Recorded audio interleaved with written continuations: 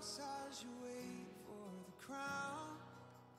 Tell the world of the treasure.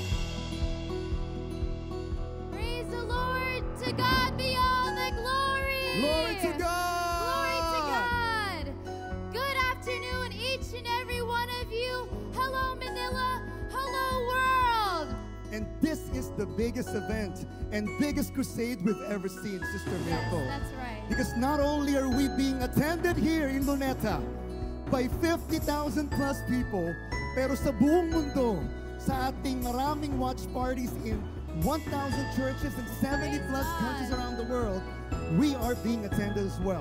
Ako po ay sobrang saya sapagkat ako po ay makakadalo ng International Missionary Day at as well as ito po ay birthday ng ating minamahal na sugong apostol at ng ating Deputy Executive Minister Bishop Jonathan S. Ferion.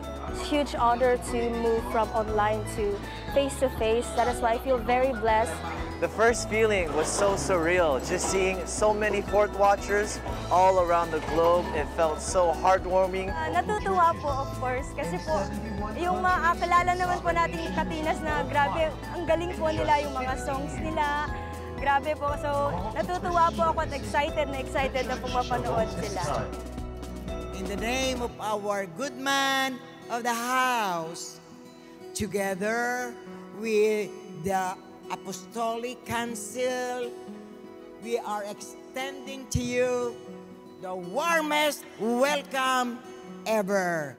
the Senate of the Philippines congratulate the Pentecostal Missionary Church of Christ under the leadership of its Chief Executive Minister and the good man of the house, Apostle Arsenio T. Ferriol, on the occasion of its International Missionary Day. Salamat sa Panginoon, binigyan tayo ng isang magandang panahon upang ating ipagdiwang ang Missionary Day. Ito ay kagandahang loob ng Diyos sa bawat isa sa atin. all the things that we have left for the sake of the gospel, God will pay it back. We will receive the reward. Come on, Manila, if you know that God is good, somebody make some noise. Whoa,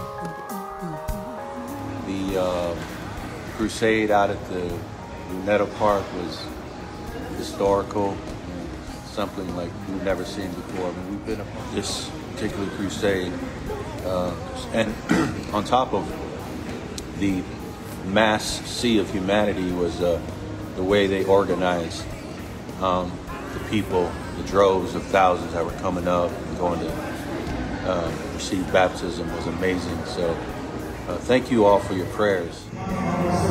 Family, I can't tell you what we've been experiencing here in Manila, part of the Home Free Global Crusade with uh, Bishop Ferriol. This is a sea of people hearing the message of Jesus, the gospel message, and as a result, people responding to have Jesus become their Lord and Savior. There's going to be thousands that'll be baptized in water. Truly amazing. Something powerful is happening here, here in Manila.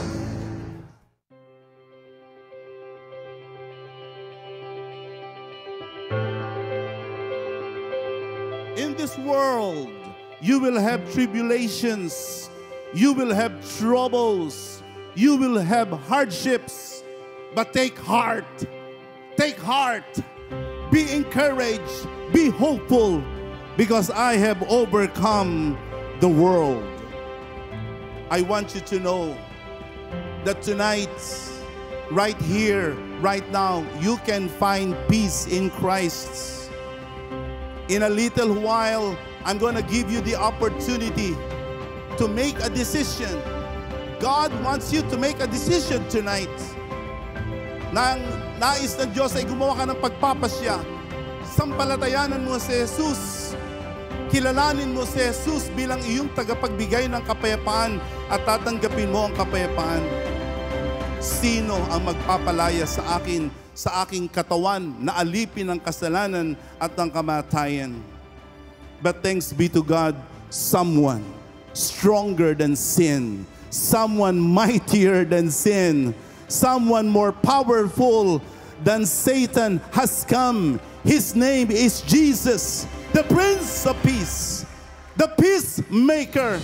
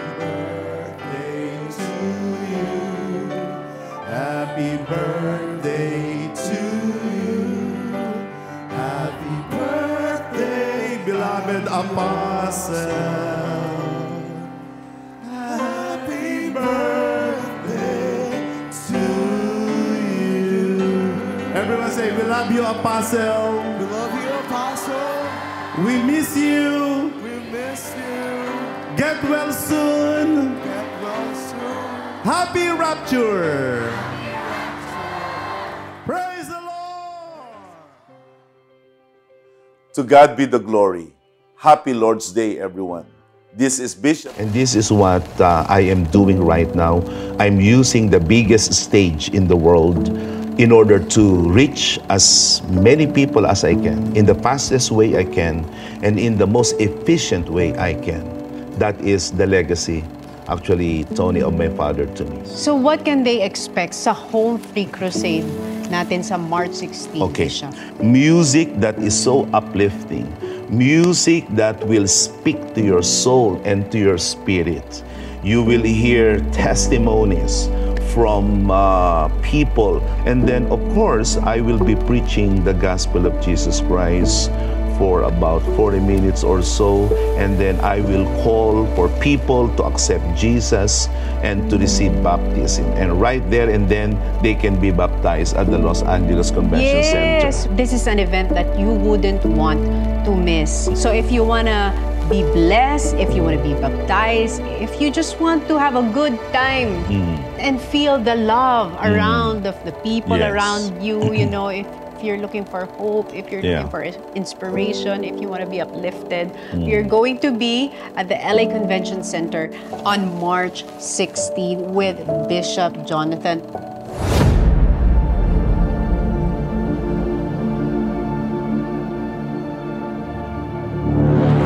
Welcome everyone to Home Free Global Crusade 15 Christ the Peacemaker Tour.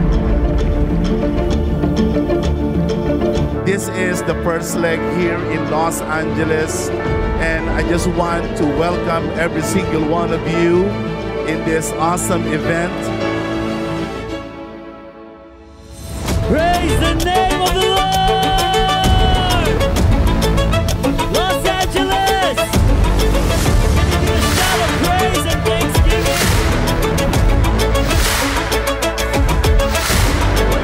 And this is what the Home Free Crusade is all about using this platform to make Jesus Christ known to the world. Home Free is all about seeing the life who has accepted Jesus Christ as their personal Lord and Savior.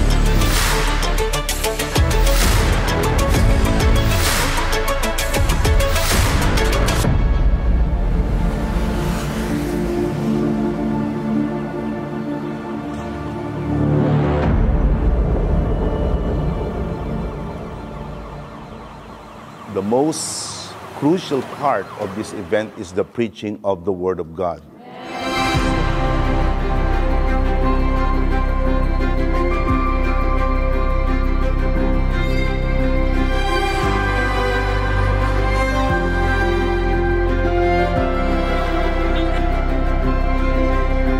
This is a spiritual event. Our end goal, our end game is to see someone saved, changed, transformed, and healed by the Lord.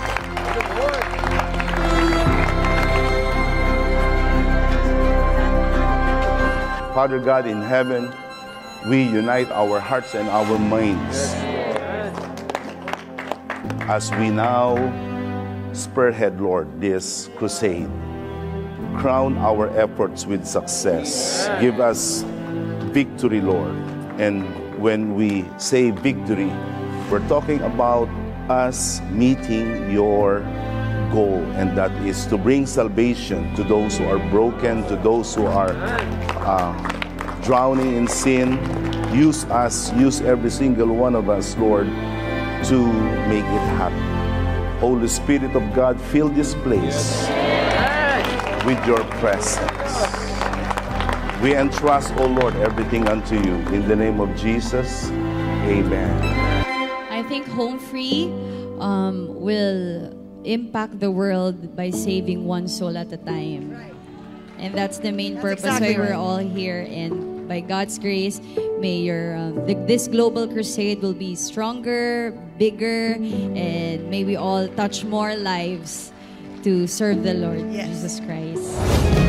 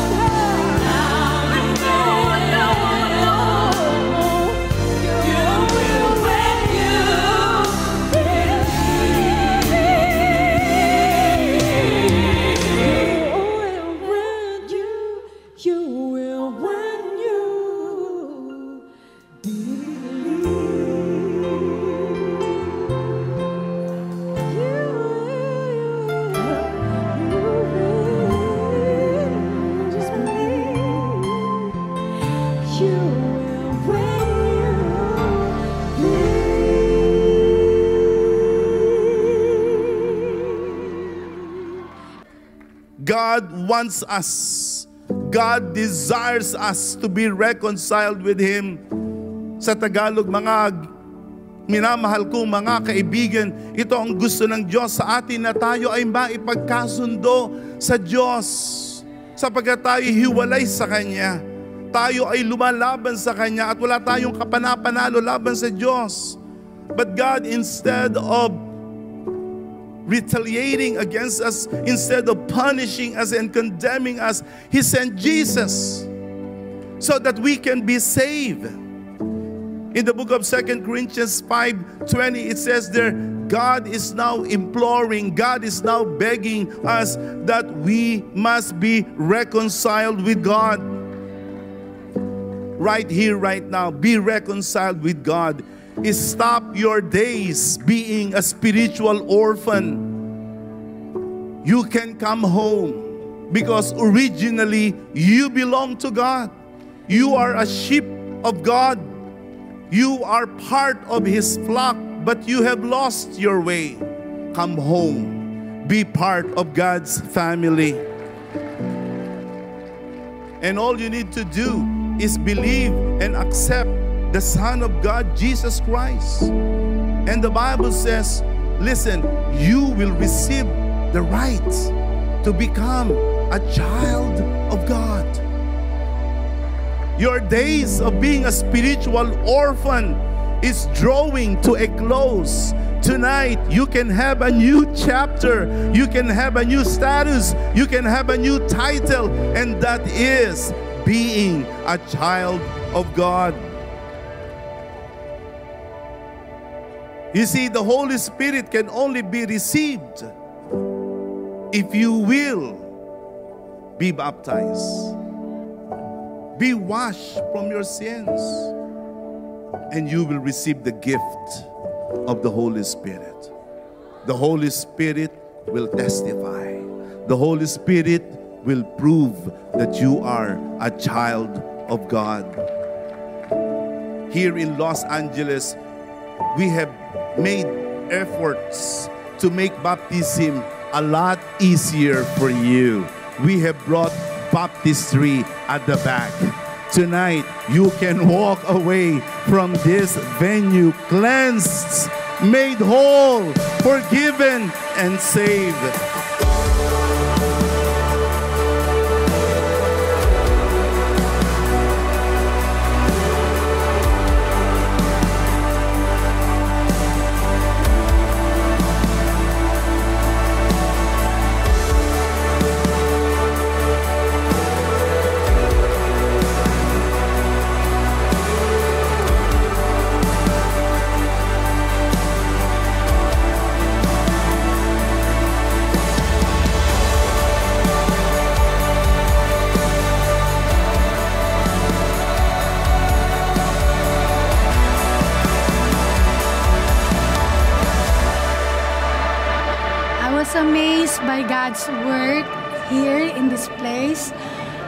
Napakaraming tao. And of course the message of Bis- Deputy Executive Minister Bishop Jonathan.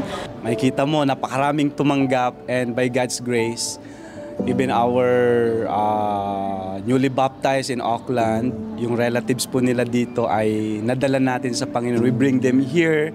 In our uh, crusade, marami ang tumanggap sa Panginoon, maraming nabautismuhan, and by the grace of God, my cousin was also got baptized, and, and we're looking forward for more souls to be saved. and words will surely fail just to express how much gratitude I have in my heart right now to have witnessed all those souls coming in front just to um, accept the truth that Jesus Christ is their personal Savior.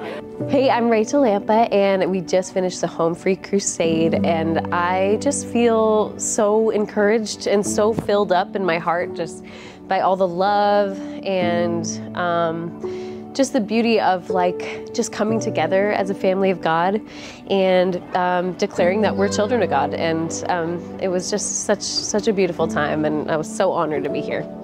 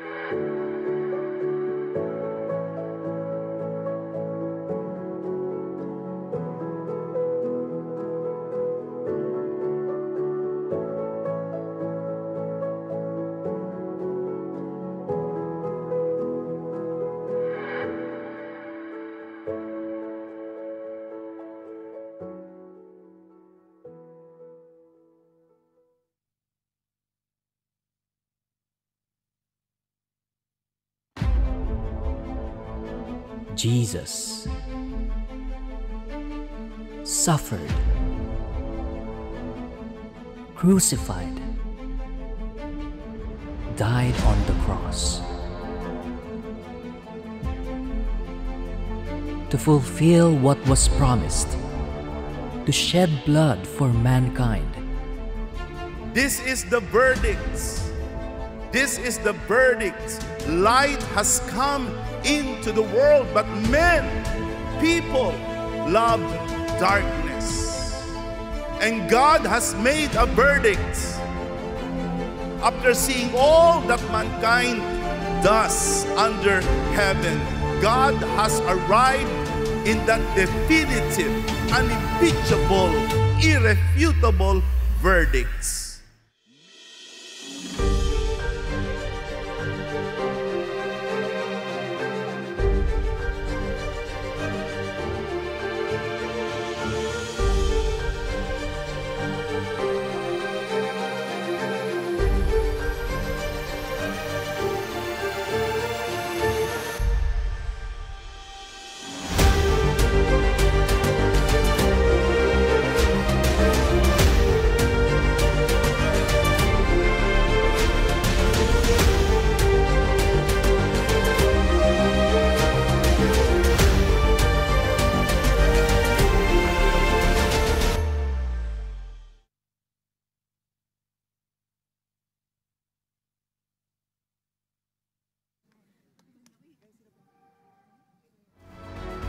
Renowned proclaimer of the saving gospel of Jesus Christ, and one who has made it his mission to preach the gospel around the world.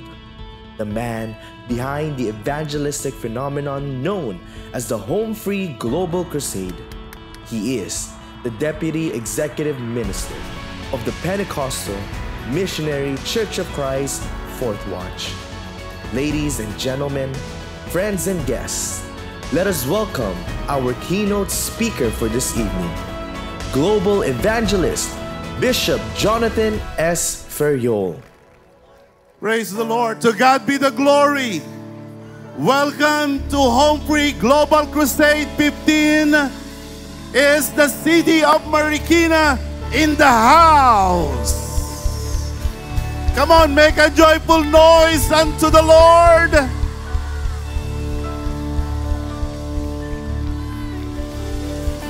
This afternoon, we're going to see the gates of heaven open just a little bit wider. We will once again see the smile of God over the lives of people that He will save. For those of you who do not know me yet, ako po si Bishop Jonathan Friol at ako po ay nagagalak na tanggapin ang bawat isa sa inyo sa hapon na ito. Kayo man ay aming mga panauhin sa kauna-unahang pagkakataon o kayo po ay nakabalik na. Welcome, welcome to the Home Free Global Crusade 15. Nagpasimula ang krusada na ito sa kasagsagan ng COVID-19 pandemic. And I felt God move me to do something about the darkness of the pandemic. And by the grace of the Lord, three years after the pandemic, here we are. We are still pushing back against darkness. And we are still winning people unto the Lord. Sa hapon na ito ay isang magiging napakagandang Good Friday. In a few moments, we're going to hear songs that will uplift us. Makakapakinig ng, tayo ng mga awit na makapagpapalakas ng ating pananampalataya. And even if you do not know the song, just listen to it and you will feel uplifted and affirmed already.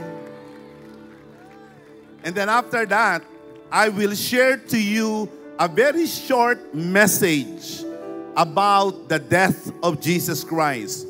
You do not want to miss it. Sapagkat ito ang pinakamahalagang bahagi ng gawain na ito sa hapon, ang pangangaral ng salita ng Diyos.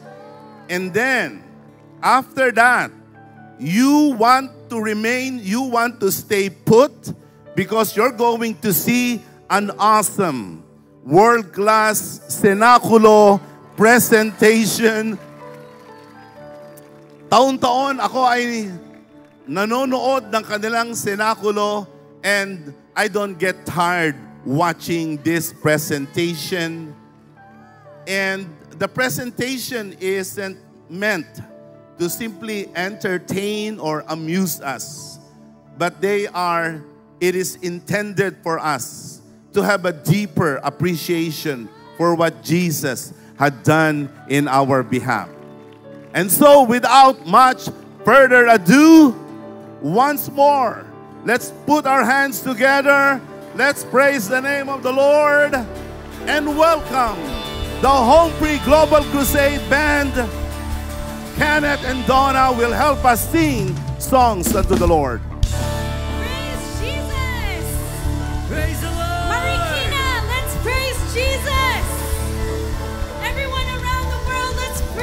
Jesus. Because peace is here, love starts now, and salvation is today. Amen. So let's open our heart to Jesus. Hallelujah. And I want everyone to clap their hands like this. Everyone can join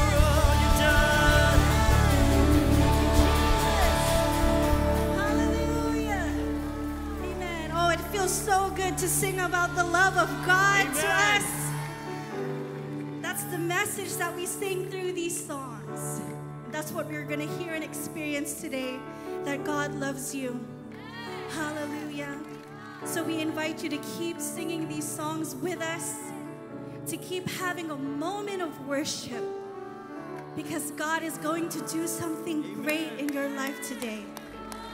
You just have to open up your heart. And so, as we sing these songs to our Savior, to Jesus Christ, who gave his life for us, open your heart today. Hallelujah. Thank you, Jesus.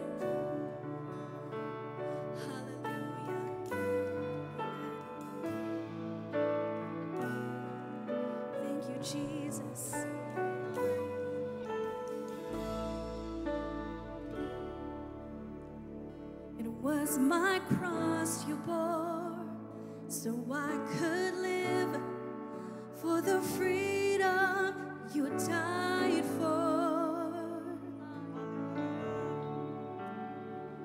And now my life is yours, and I will sing of your goodness forevermore. For Jesus.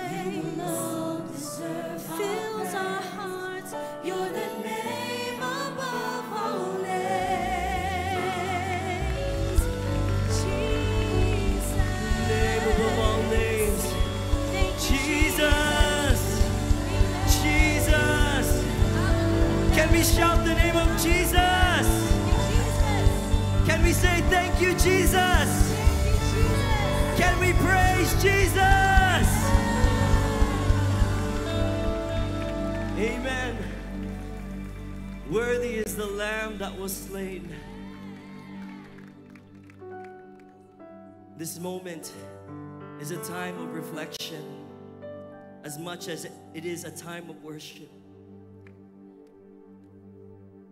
where we can reflect on the goodness of God to us. As we know, God sent His Son, our Lord Jesus Christ, so that we can receive that blessed hope, that gift of salvation. The sin that we were meant to pay, God paid it for us. Jesus paid it for us. In this moment, as we worship our Savior, our Lord Jesus Christ, let us recognize His goodness, His love, and His mercy to us all. Because it is out of God's love that Jesus died for us. Worship the Lord with me. I want you to raise your hands unto Him if you believe in the work of Jesus in your life. Amen.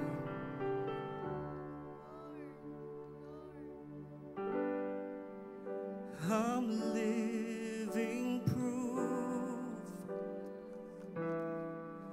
of what the mercy of God can do. If you knew me then, you believe me now. You turned my whole life upside down. Took the old and he made it new. That's just what the mercy of God can do. Now I'm alive to tell how I've overcome. It's His goodness and mercy and the power of the blood. I'm so glad that my freedom wasn't based on what I've done, but His goodness and mercy and the power of so much power in the blood. Oh.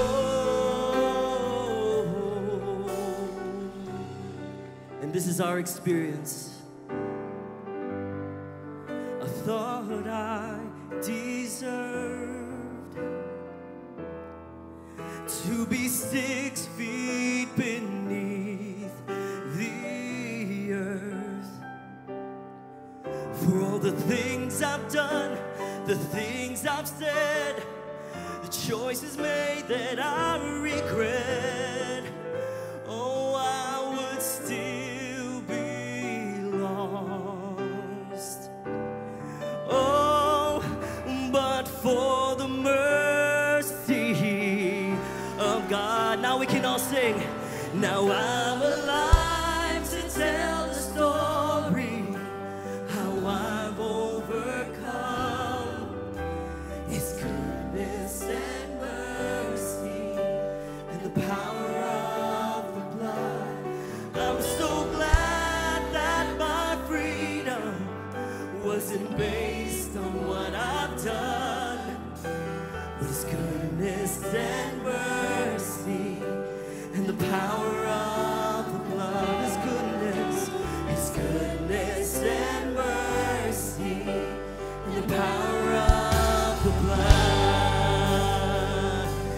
there's power in the blood. There's power in the blood of Jesus. There's power in the death of Jesus. As we believe, Jesus is ready to save. Jesus is ready to work. For there is power. There's power in his blood. Hallelujah. We thank you, Jesus. Was the cross meant for me that my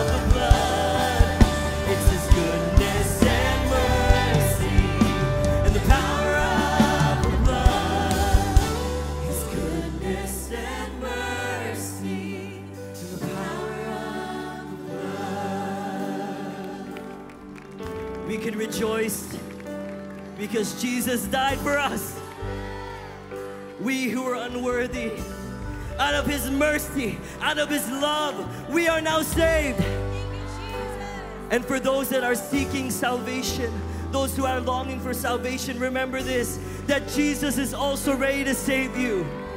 Jesus is also ready to work in your life. Because there's power in the blood. Yes, there's power in the blood. Yes, there's power in His blood. Oh, there's power.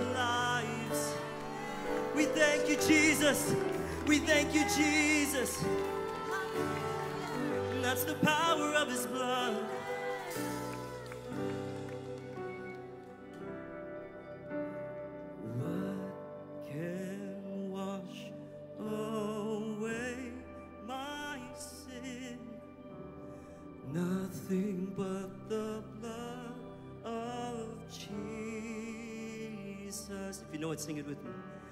What can make me whole again? Nothing but the blood of Jesus.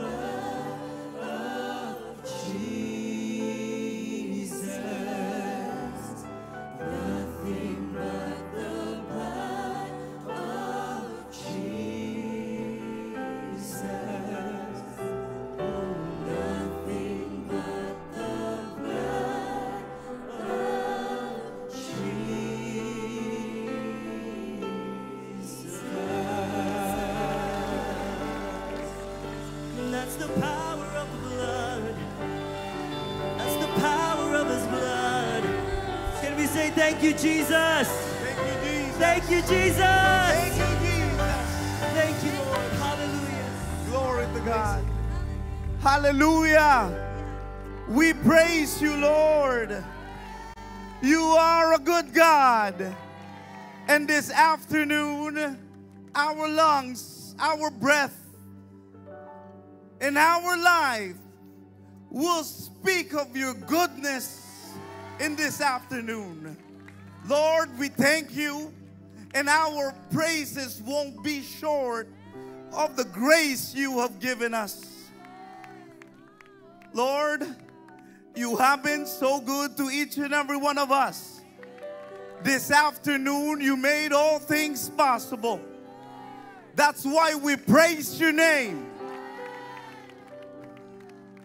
Panginoon, ikaw ay napakabuti sa amin. Ikaw ay naging mahabagin sa bawat panahon. Lalong-lalo na ngayon, pinangyari mo ang lahat ng bagay upang ang bawat isa sa amin ngayon ay makarating dito sa Marikina at magpapasalamat at pupurihin ang iyong pangalan.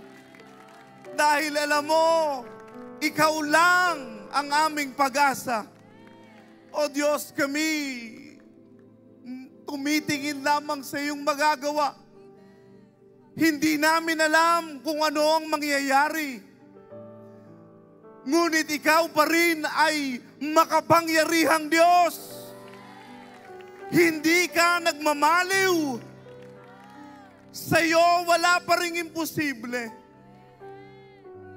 Kaya ngayong hapon, hindi mapipigilan ang aming pagpapasalamat sa iyo. Magpupuri pa rin ang bawat isa sa amin. Ang mga anak mo, magluluwalhati pa rin. Itataas namin ang iyong mga pangalan. Ikaw ay Diyos na makapangyarihan sa lahat. Salamat hindi mo kami dinako kung saan-saan. Wala kami sa ospital, wala kami sa morgue. Nandito kami, nagpapasalamat sa iyo, nagpupuri. O iniahon mo kami. Ikaw na ang nagdala sa bawat isa sa amin. At ngayon, kami makakakanta na ikaw lamang ang aming pag-asa. Mga kaibigan, mga kapatid, ating awitin ang si Kristo lamang. At la, nawa ang bawat isa na may puso at damdamin na ngayong hapon, si Kristo lamang ang ating pag-asa. Kakanta sa Panginoon, magpupuri sa Panginoon. Oh, hallelujah. Let's praise the name of the Lord.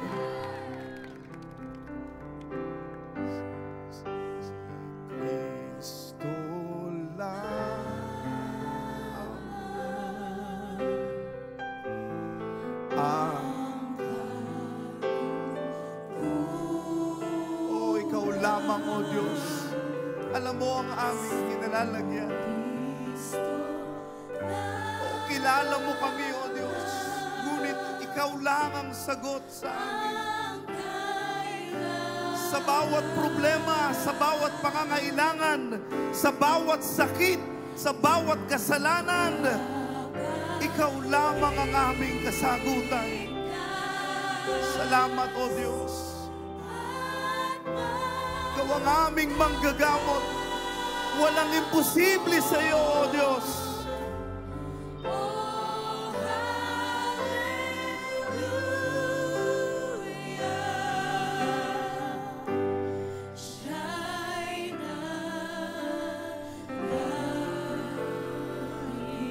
Hallelujah! Hallelujah! Amang Diyos, hindi pa rin magbabago ang pangangailangan namin. Kami tao lang, ikaw ay Diyos. Salamat ngayong hapon, kami buhay, malakas, nakapagsasamba sa iyo. Salamat hindi mo pa rin kami pinabayaan. Dinako mo kami sa iisang lugar at ang iyong pangako kung isa o dalawa o tatlo ang magkakasama-sama ang iyong presensya ay nasa gitna nila. Kami o Diyos ay magpapasalamat at magpupuri sa iyo. Salamat pinangyari mo ang lahat ng bagay na ang bawat isa sa amin ay makapagsamba sa iyo. Ngayong hapon, makikita namin ang bawat sakripisyo na iyong ibinigay ang, bu- ang daan na iyong tinahak, ang kahirapan na iyong pinagdaanan, at ang kamatayan upang kami na mga makasalanan ay maligtas. Opo, Diyos, kami makasalanan. Kilala mo kami, O Diyos. Ngunit salamat, Ikaw ang gumawa ng lahat ng bagay upang ang isang katulad namin ay hindi na magbayad ng kasalanan dito sa mundong pina, ibinubuhay, kinabubuhayan namin sa aming kinakatayuan. Ikaw na ang nagliligtas sa bawat isa sa amin ngayon. Idinako mo na kami sa isang ah, lugar na aming matatagpuan ng pag-asa at kaligtasan. At salamat, hindi nagtatapos dito ang iyong kabutihan. Alam namin may naghihintay na buhay na walang hanggan ng kaligtasan. Ikaw pa rin ang sasagot sa aming mga tanong. Ikaw pa rin ang sagot sa aming problema. Ikaw pa rin ang sagot sa aming mga sakit. At kami ngayon ay naparito, O Diyos. Hindi kami aalis hanggat hindi namin natatamo ang iyong regalo. Hindi kami papayag na mawala ng pag-asa dahil ikaw ay naparito na para sa bawat isa na nananampalataya, naniniwala, at ngayong hapon magpupuri sa iyo. Salamat po, O Diyos. Ikaw ang magbigay ng tagumpay, ang saysay ng iyong sakripisyo para sa amin maganap ngayong hapon at ngayong gabi masaksihan namin ang tunay na pag-ibig mo. Ito po ang aming panalangin sa pangalan ni Kristo Jesus. Lahat ng tao ngayon dito sa Marikina magsasabi ng Amen! To God be the glory. Tingin ko noon na yung alak ay siyang takbuhan ko sa tuwing ako'y may problema. Parang gusto ko lang mag happy-happy, kasama ng barkada. Ako na mismo nagyayaya sa mga kaibigan ko, mga kumpare ko, tara inom tayo. Sa clock ng hapon, start na po kami mag-inom niyan. Pagkatapos niyan, matatapos kami ng mga alas 10. After ng alas 10, parang nabibitin pa. Magyayaya pa kami na magbanlaw sa labas. Iba kasi sa pakiramdam talaga pag talagang nasa impluensya ka ng alak. Andun yung parang siwal-siwal mo. Andun yung parang ang tapang-tapang mo. Uuwi siya ng madaling araw, alauna.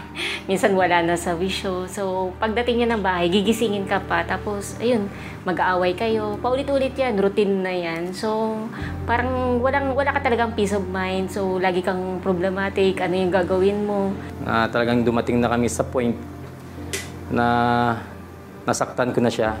So, nasabihan niya ako. Medyo napahiya ako sa mga barkada ko kaya nagalit ako sa kanya. Yun ang pag-aaway namin na talagang nasaktan niya ako is ah, tanghali. Tanghali pa lang, lasing na siya. Parang wala, wala na talaga kasi siya sa isip niya. Kasagutan kami hanggang sa dumating nga ang point na sinakal ko na siya. Tapos may isang kamay ko, may hawak na electric fan na talagang ipalo ko na talaga sa ulo niya. Andun sa harapan ng anak namin. Yung mukha niya talaga, parang hindi na siya. Kaya nakakatakot na. Hindi na ako makalaban eh. Kasi ano, talagang malakas siya. Then wala, iyak na lang ako. Then sigaw. Kaya narinig kami ng tita niya. Sabi ko, wala na. Hindi na to kayang i ano kasi either kapag i-continue pa namin yung relationship na to, ah, either isa sabi mamamatay.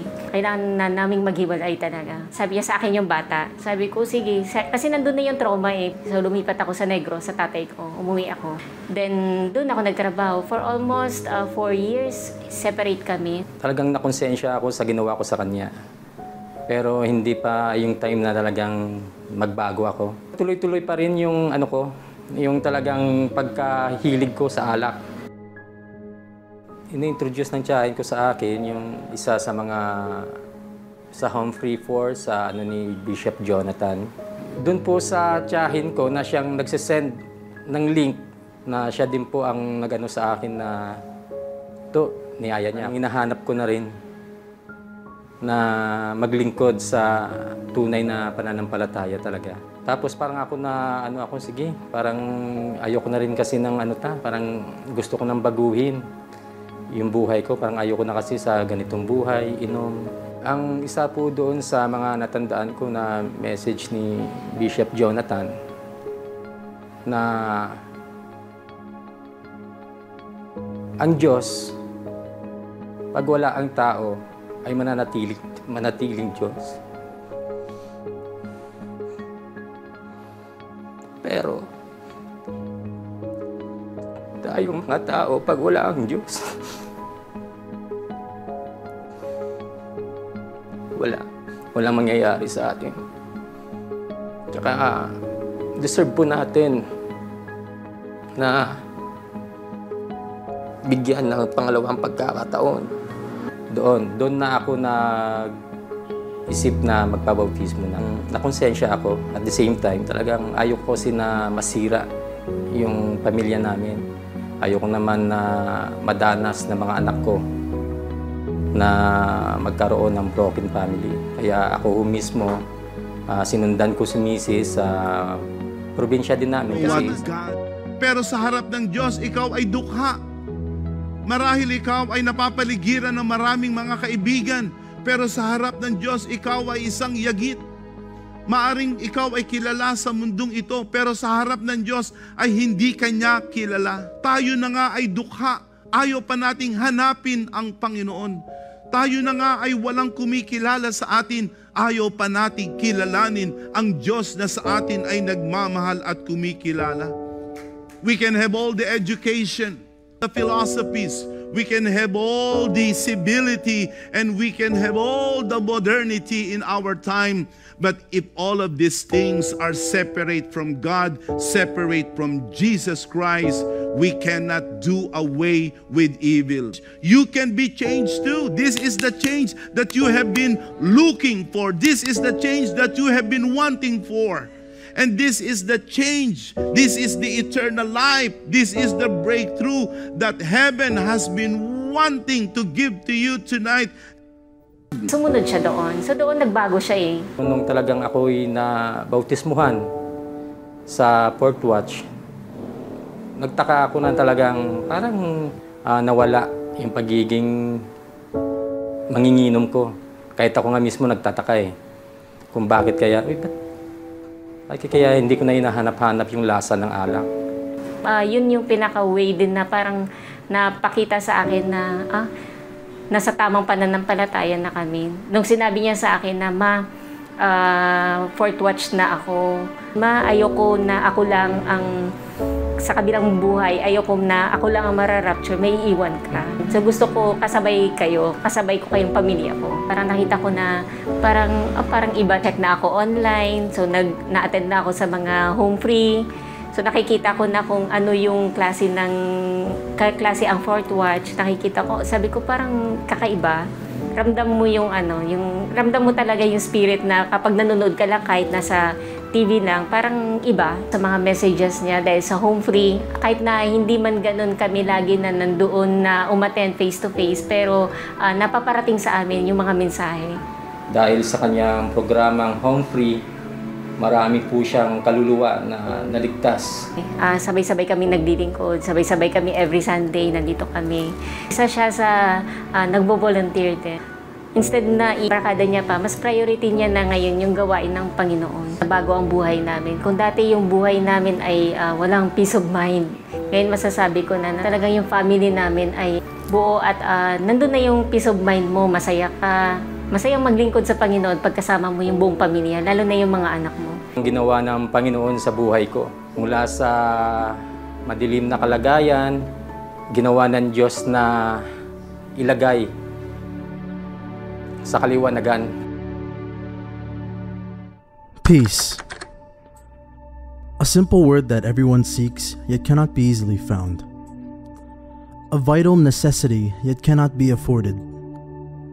It seems too easy to get, yet too far to reach. This is what we cry out for, hoping for, longing for. Internally, we suffer so much from the problems of this life our worries, poverty, sickness, sorrows, fear, anxiety, depression. We try to find comfort in temporary things, but this is what we hear and see nations versus nations, wars and rumors of wars.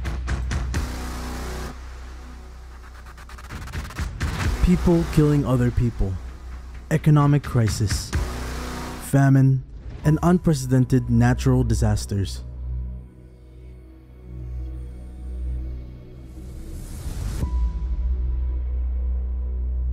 In a world full of chaos, where can we find real peace? True peace can only be found in Jesus Christ. He alone can erase all your worries. He alone can sustain all your needs.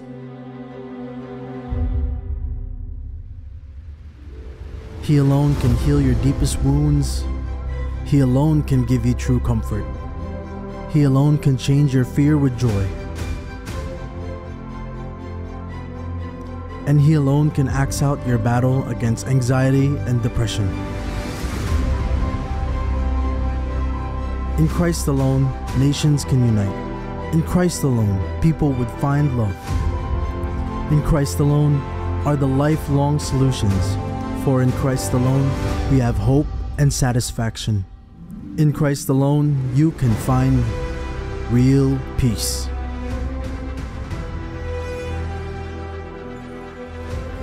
So, together, today, let us accept this peace in Christ.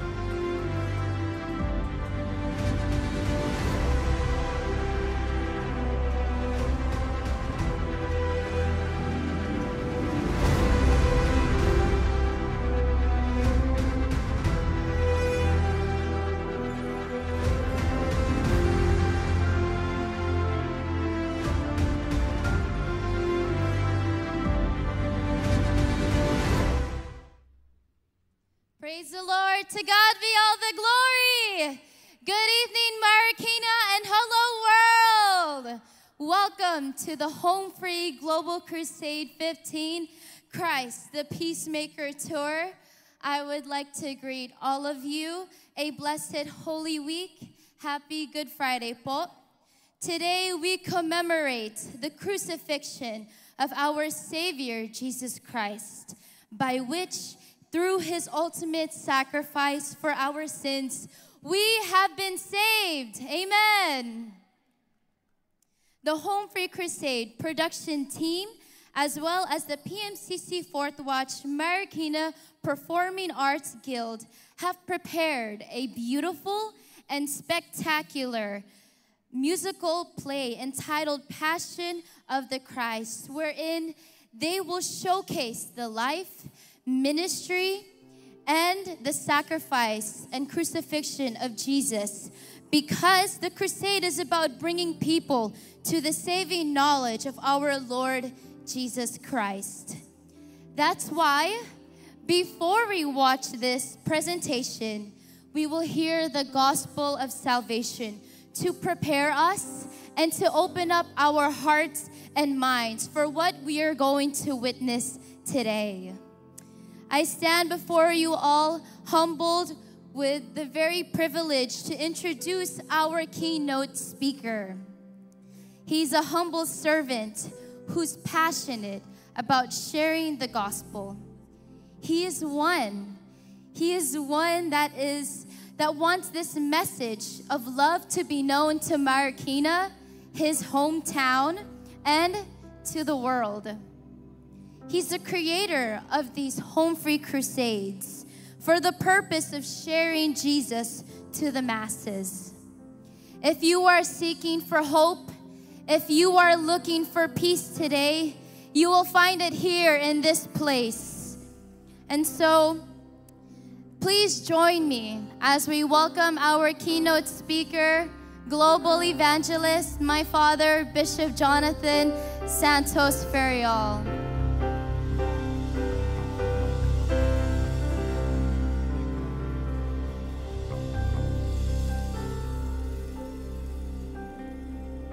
Praise the name of the Lord. Once again, welcome to the Home Free Global Crusade 15 here in the beautiful city of Marikina. I was born and raised here. This city has a special place in my heart, but most importantly, the very people that live here.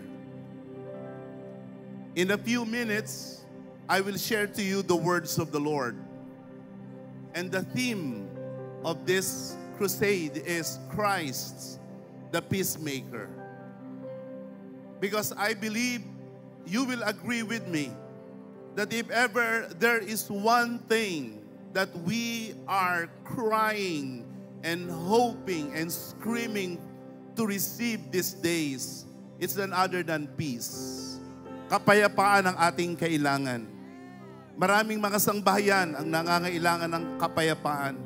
Ang ating bansa ay nangangailangan ng kapayapaan. Ang buong mundo ay nangangailangan ng, ng kapayapaan. And so many people are pointing us to so many directions, to so many people that seem to promise peace. But I want you to know that the peace that we need can only be given to us by Jesus Christ. This afternoon, I will only speak about Jesus because Jesus is really what we need. And so, I want you to stay put wherever you are. Iwasan po nating maglakad-lakad. At samantalahin natin ang pagkakataon na ito, napakinggan ang mensaheng ito. We are thousands and thousands here in this venue, but more people are watching via live stream this crusade. And wherever you are, I want you to know that God cares for you. He loves you. And He wants to give His peace to you. Brother Kenneth and Sister Donna and the band will sing before I share to you the words of the Lord.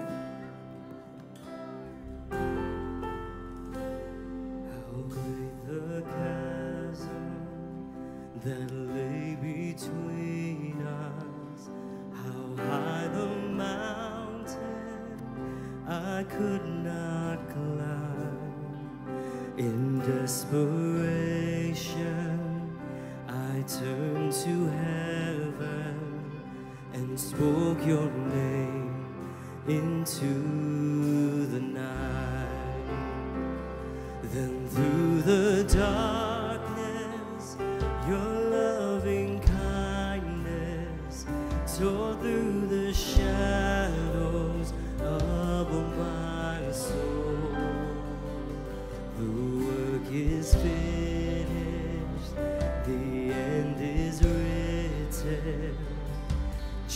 Jesus Christ, my living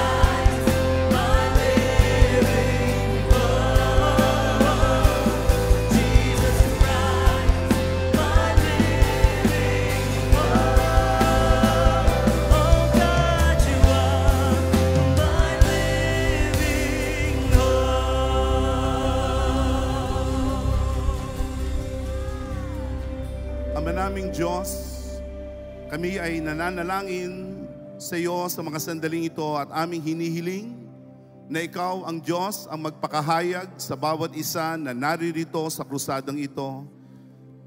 Mangusap ka sa kanilang mga puso, ipadama mo sa kanila na ikaw ang Diyos na nagmamahal sa kanila, na ikaw ang Diyos ang siyang pagmumulan lamang ng kanilang kapayapaan.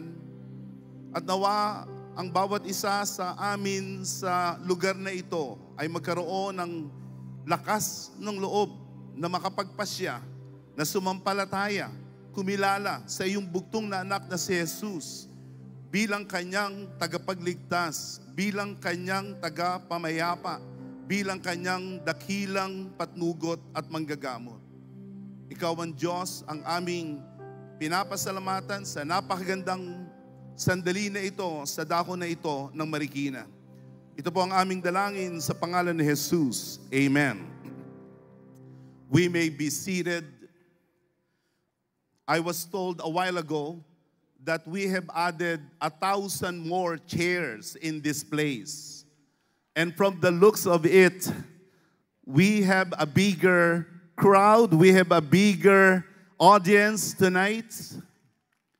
And once again, for those of our friends and family members, guests who have come this evening to hear this message, to take part in this crusade, and of course, to watch the Passion Play or the Cenaculo, thank you for making that decision to come in this crusade. Huwag niyo pong kalilimutan pagkatapos ng aking maikling mensahe ay mapapanood natin ang napakagandang Cenaculo presentation.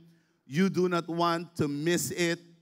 It is going to greatly uh, reinforce in our hearts the importance of the Lord's death and resurrection. Sa gabing ito, aking babasahin ang aklat ng Mateo sa Kapitulo 6, dito po sa talatang siyam hanggang labing tatlo. This is what we typically call as the Lord's Prayer.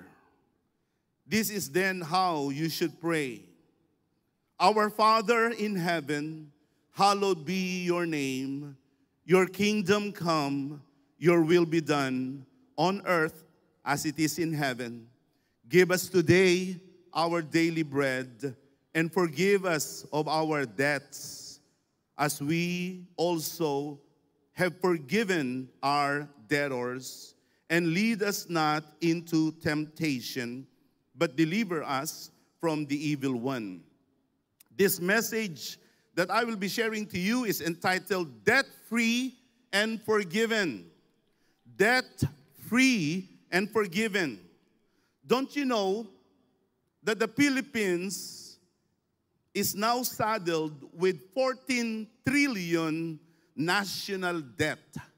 Ganyang kalaki ang utang ng ating mahal na bansa. 14 trillion. That is with a letter T. And by 2024, the national debt will balloon to 15 trillion pesos. Lalaki pa, hindi liliit ang ating utang bilang isang bansa. Nangangahulugan na ang bawat Pilipino ay magkakaroon ng utang ng 141,000 sa 2024. That is how bad our national debt is right now, and it is just going to increase. $141,000 every Filipino will be saddled with this debt by 2024. And according to survey, seven out of 10 Filipinos are in debt. Sa sampung Pilipino, pito ang merong utang. At ang pagkakautang ay ang primera at pangunahing pinagmumulan ng stress, depression, at ng malaking kaguluhan sa isip at puso ng maraming mga tao, lalong-lalo na sa ating mga kabataan. Hindi lamang matatanda, hindi lamang ang mga may sapat na gulang at ang mga may bahay ang merong pinagkakautangan o may malaking utang.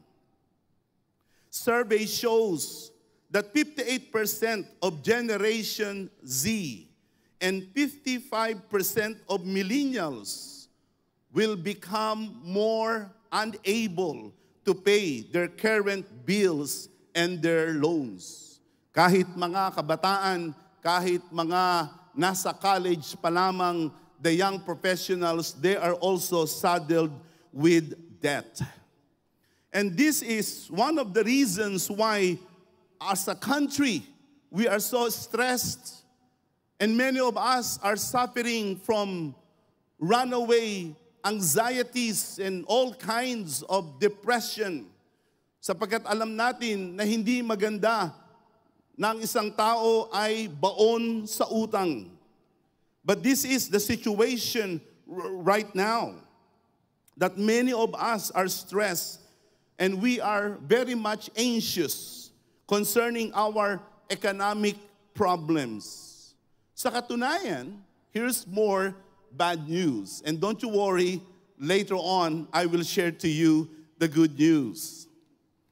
This is also the reason why 70% of Filipinos are the most stressed compared with other Asian Pacific countries in the world. Ang mga Pilipino daw ayon sa survey, 70% sa atin ay very anxious, nababalisa, nababahala. Hindi sila nagkakaroon ng tiwasay at mapayapang buhay dahilan sa kanilang mga malalaking pagkakautang. And this is not only true in the Philippines, many countries of the world, and even the first world countries are actually struggling and they are suffering because of debt. I have lived in California for 25 years. And one of the reasons why so many Americans are also anxious and many are stricken with panic and depression is because of their credit card debt. And debt is not only straining our personal mind, but it is also putting undue pressure in our marital relationships. Sinasabi na kapag ka ang mag-asawa at ang isang sangbahayan ay maraming utang, karaniwan ng mag-asawa ay nagkakagalit. Sa bahay ay laging may pag-aaway at ang karaniwang pinagmumula ng pag-aaway ay ang may kinalaman sa pananalapi at sa kanilang mga utang. And that isn't only putting a strain in our marital relationships, in our marriages, but we also know that there are many Filipinos that are resorting to criminality, prostitution, and all kinds of uh, illegal activities such as gambling in order to get themselves out of debt. Debt indeed is destructive, it is debilitating. And this is the reason why there are so many Filipinos that are unhappy. Marami sa atin ang hindi makasumpong ng katiwasayan at kapayapaan bunga ng ating mga pagkakautang. The book of Proverbs in 22 in verse 7 says that the one who is a borrower is a slave or a servant to the lender.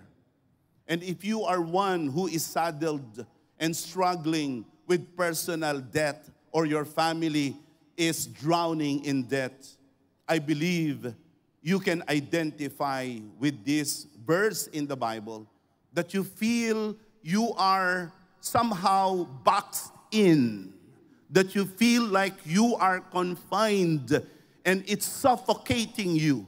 Parang hindi ka makahinga. Lagi kang takot.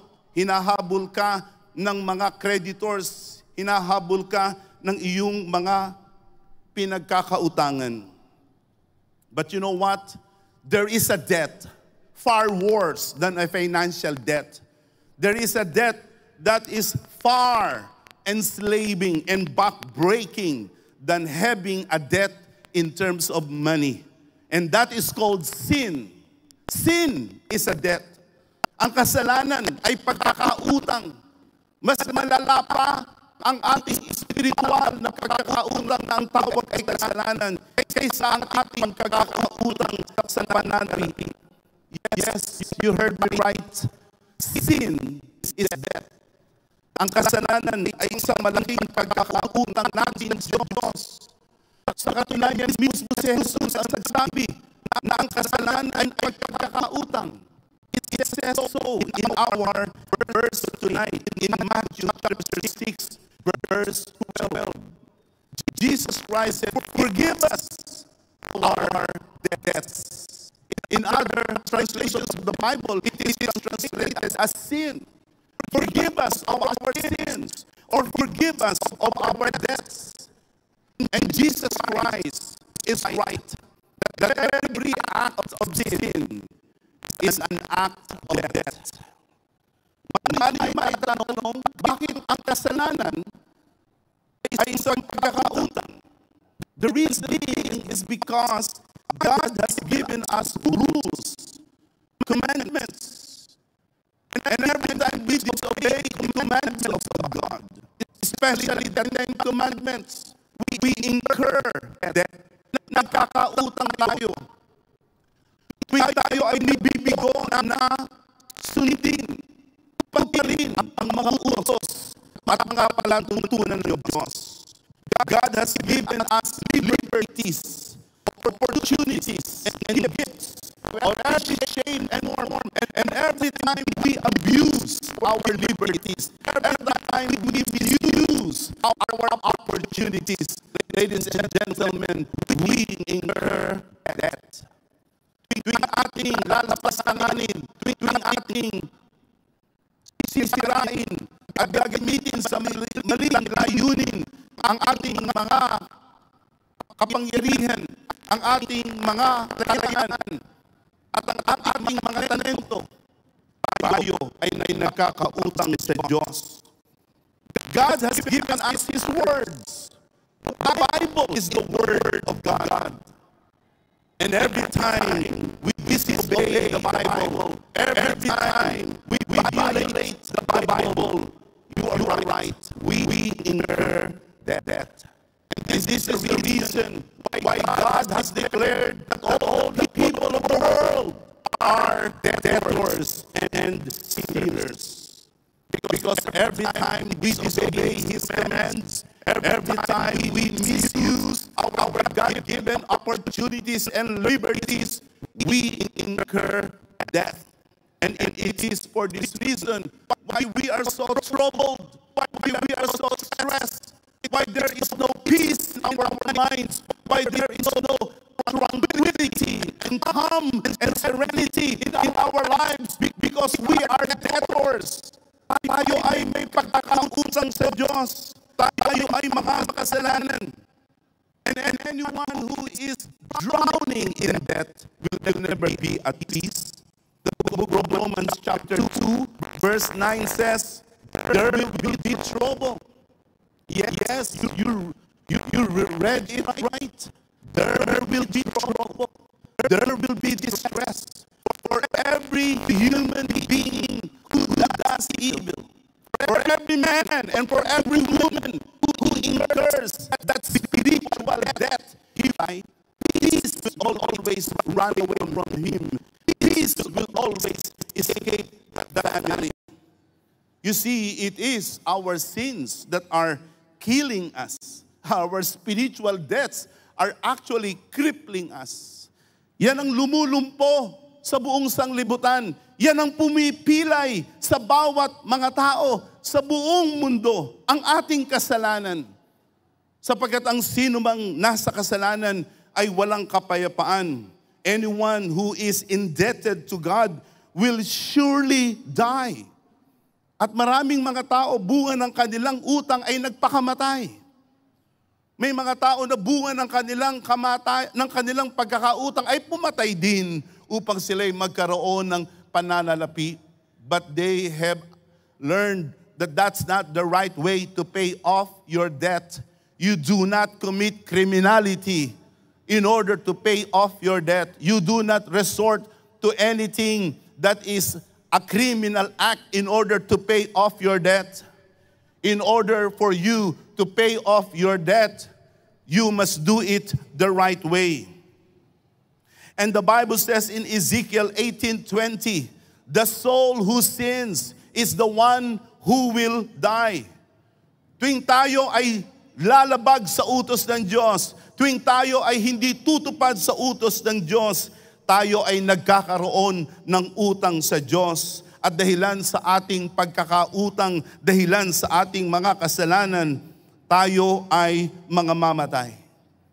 So you might ask me, how can I get myself out of this spiritual debt?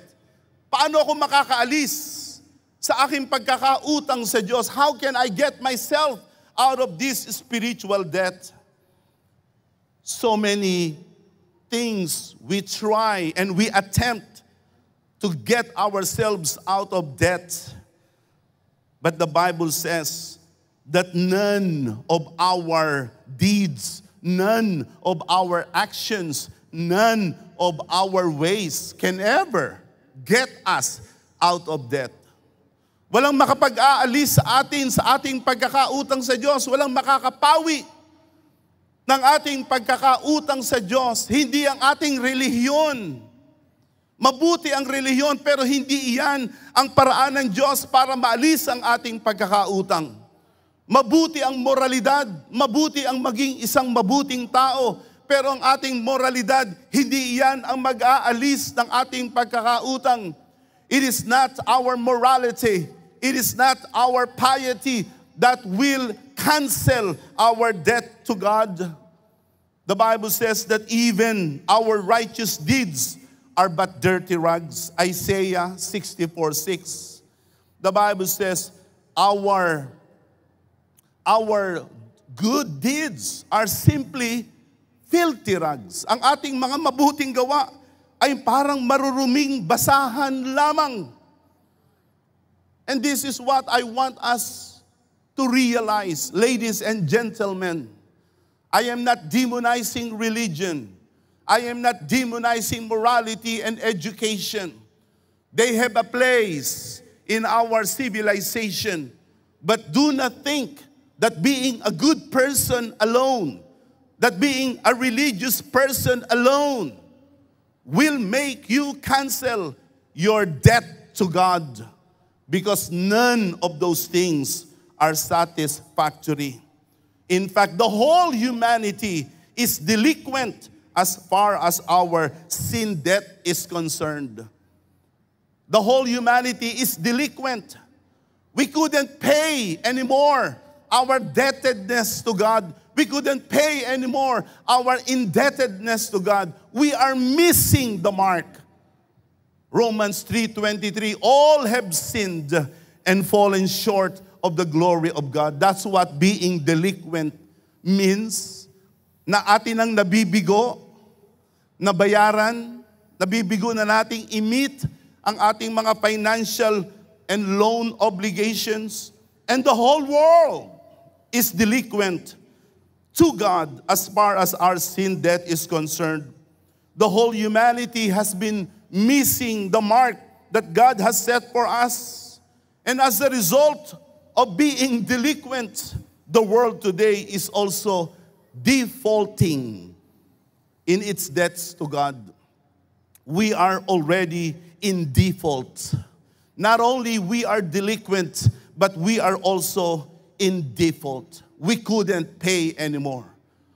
We couldn't satisfy the standard of God sapagkat mataas ang pamantayan ng Diyos.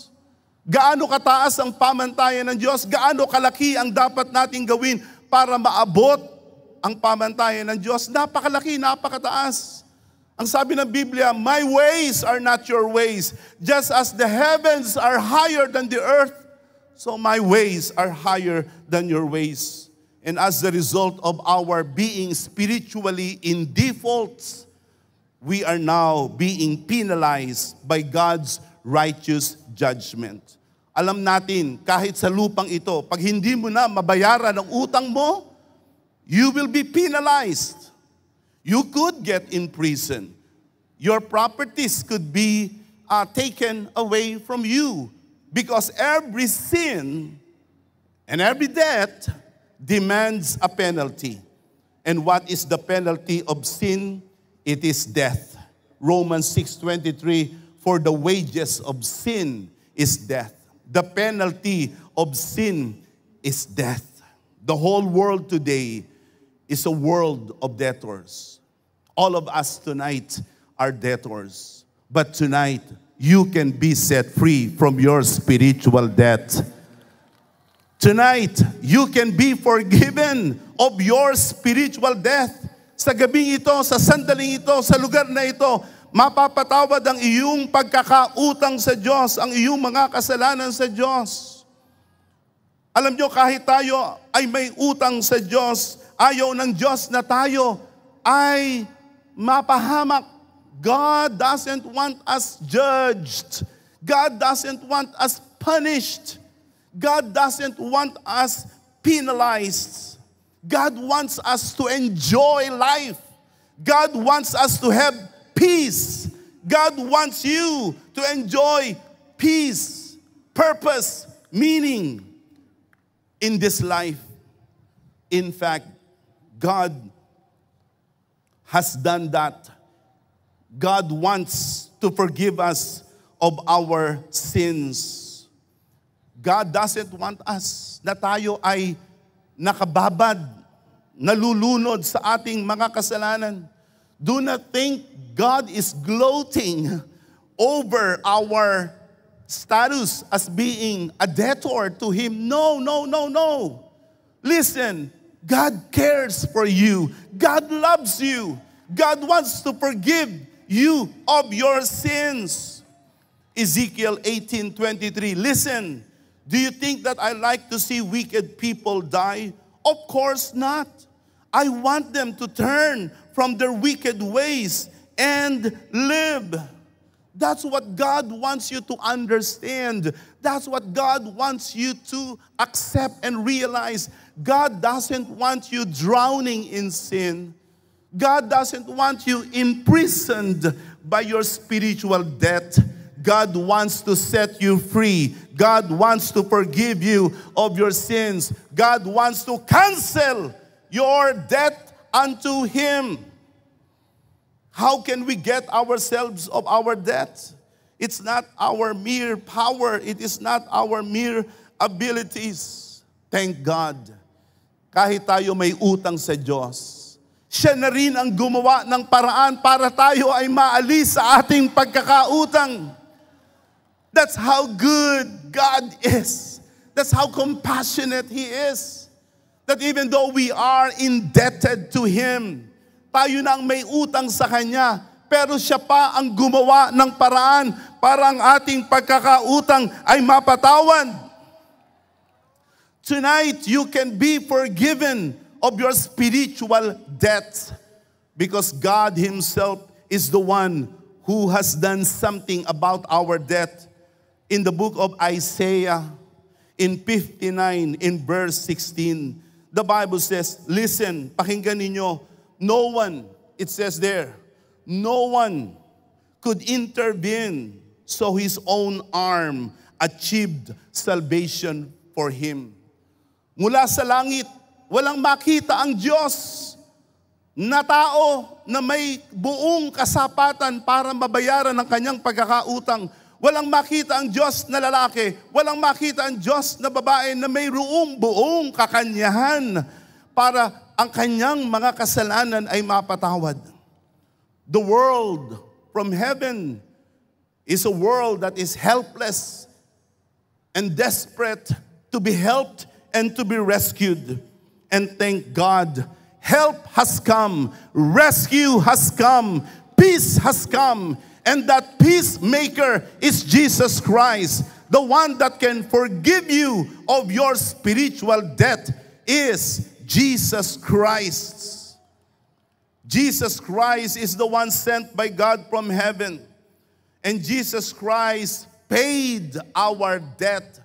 Siya lamang ang nagbayad ng ating lahat ng makakasalanan. It is not a priest.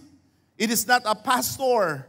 It is not an imam. It is not a life coach. And neither it is you that can make you cancel your debt. Listen to this. Only Jesus Christ has come from heaven to earth, and He is the one that has canceled our debt. And how did Jesus do it?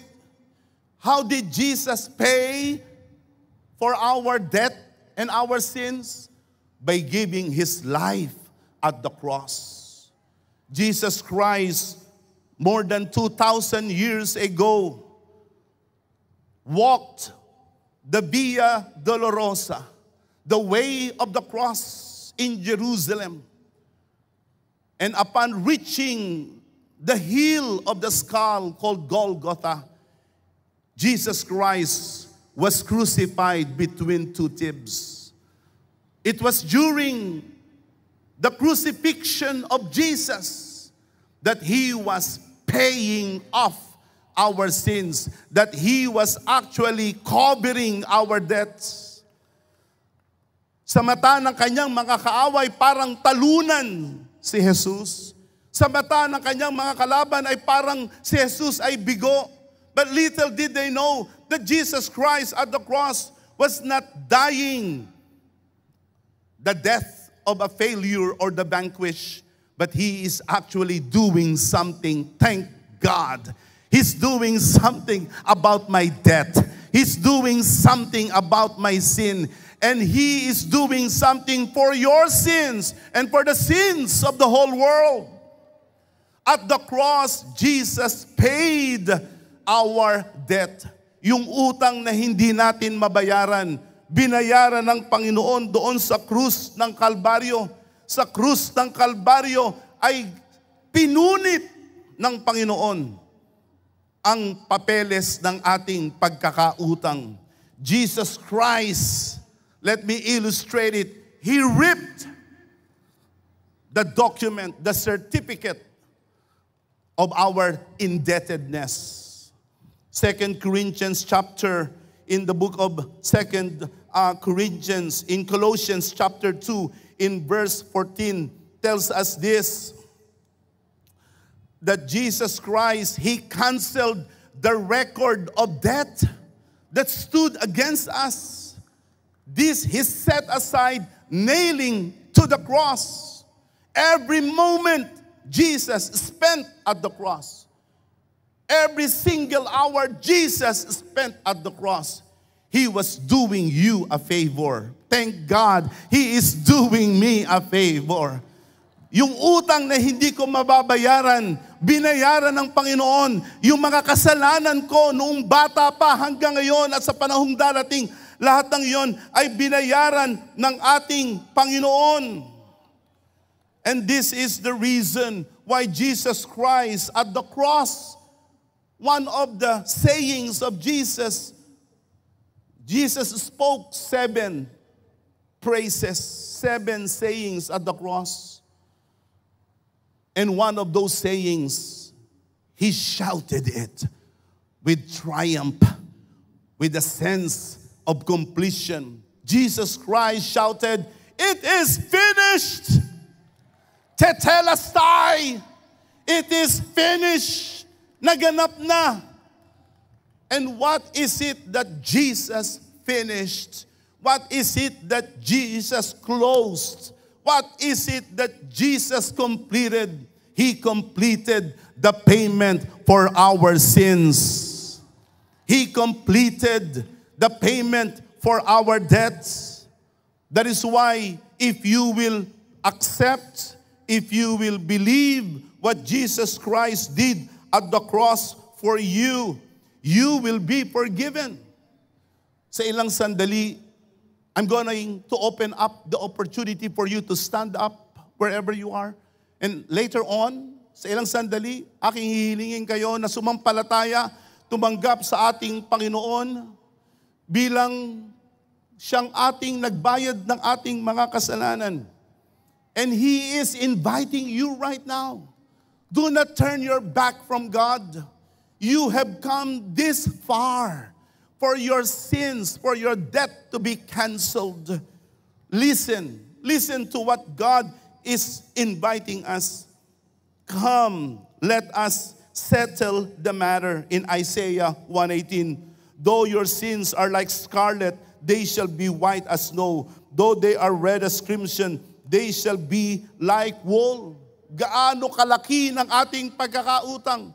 Marahil ang iba sa inyo nagsasabi, Bishop Jonathan, you do not know me. I do not need to know you. I may not know you. But God knows you. And He wants you to know that He loves you so much. He cares for you so much that He doesn't want you to live your life in another day, another hour without peace. Tonight, right here, right now, you can have peace because you know your sins will be forgiven. God is in the business of debt cancellation and debt relief. He is in the business of debt cancellation.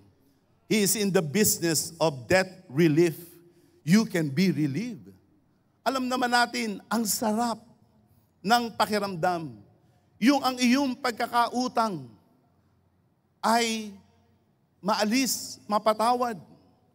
And God wants you to experience peace right here, beginning tonight, beginning in this place. He wants you to have peace. And this is what God will do. Psalm 103, verse 1 As far as the east is from the west, so far God will remove our sins, our debts, and our transgression. Yun ang gagawin ng Diyos, mga kaibigan. Yung inyong pagkakautang, ang inyong kasalanan. Ano man ang inyong kasalanan, gaano man kagrabe ang inyong kasalanan, gaano man kahindik-hindik ang inyong kasalanan, kayang patawarin ng Diyos yan. At the cross, there was a thief. There was a thief who was crucified with Jesus. At first, he was mocking Jesus. He was smearing at his character. But later on, he had a change of mind. Nagbago sa kahuli-hulihang sandali ang isip at puso ng magnanakaw. Ang panalangin ko sa gabing ito, maring hindi kayo magnanakaw, pero ang aking panalangin ay mararanasan nyo rin ang pagbabago ng inyong isip, ang pagbabago ng inyong puso, at kayo rin ay magsisisi sa inyong mga kasalanan at inyong sasampalatayanan na tatanggapin si Jesus bilang inyong tagapagligtas. Repent from your sins. Turn your back from sins. Change the way you look at God. Begin following Jesus. Begin serving God. That's what repentance is.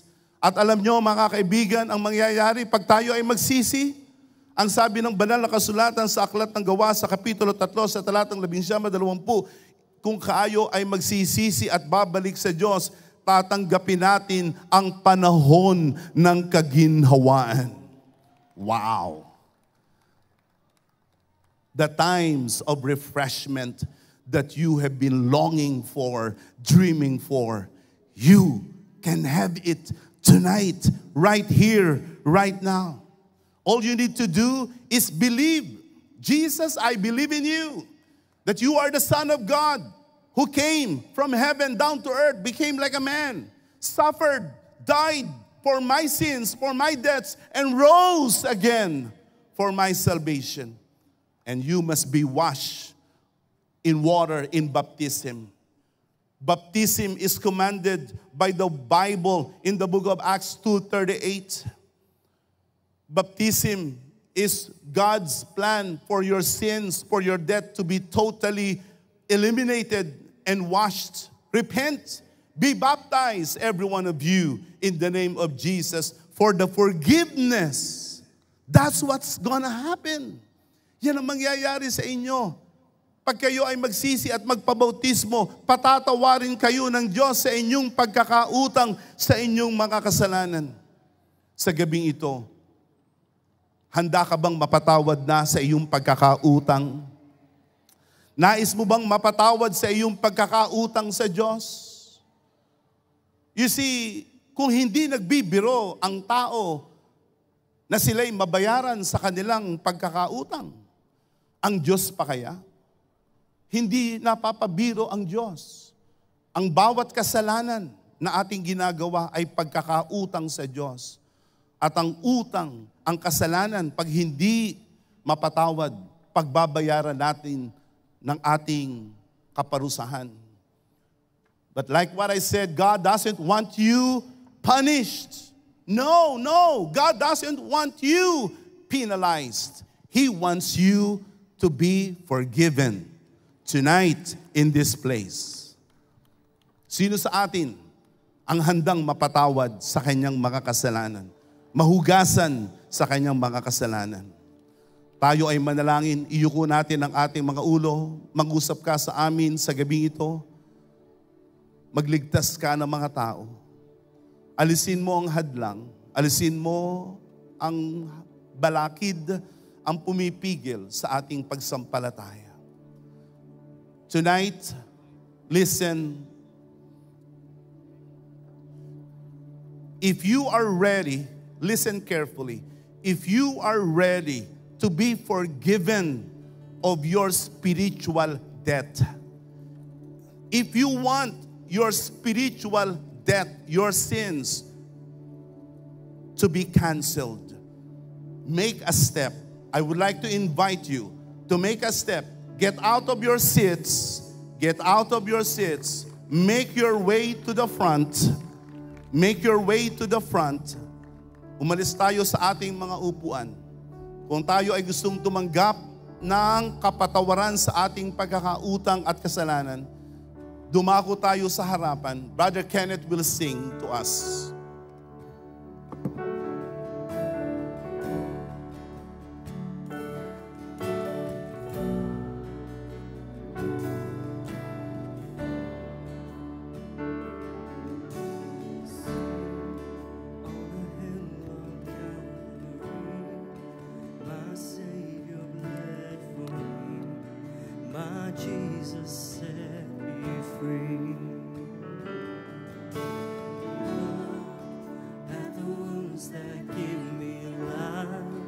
Grace flowing from His eyes, no greater sacrifice.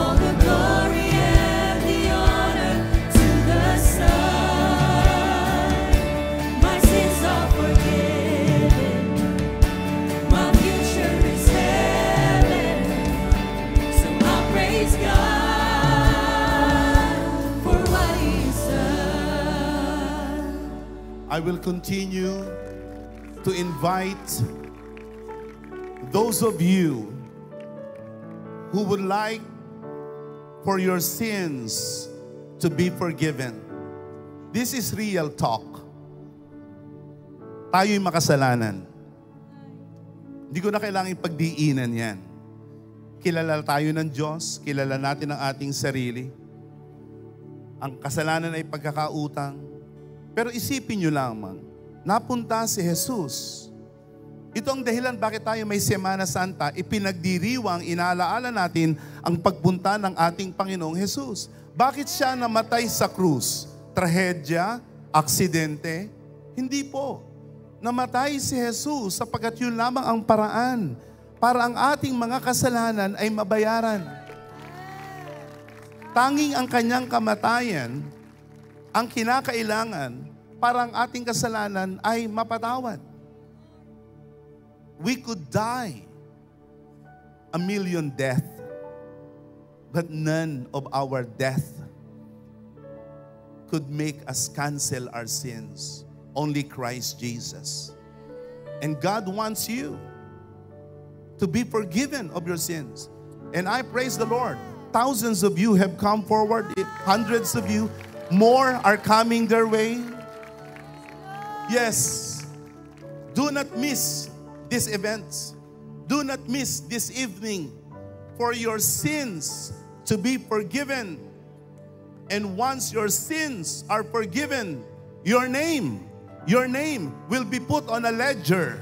Your name will be put on the book of life. And your status is this you're no longer a debtor, you're no longer a sinner, you are forgiven, you are debt free. I will ask Kenneth to sing again. Those of you who are trying to make their way in the front on this side, we will wait for you. And now, on the throne of majesty, the Father's will complete. He reigns in victory. So sing hallelujah to the King. He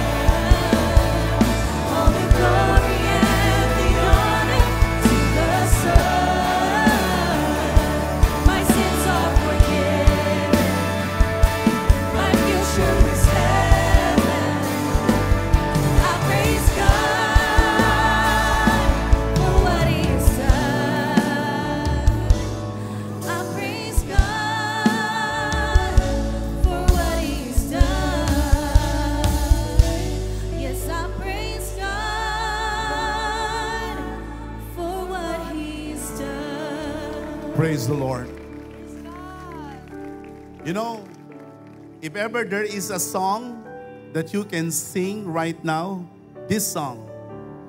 What He has done, what He has done. My sins are forgiven. My future is heaven.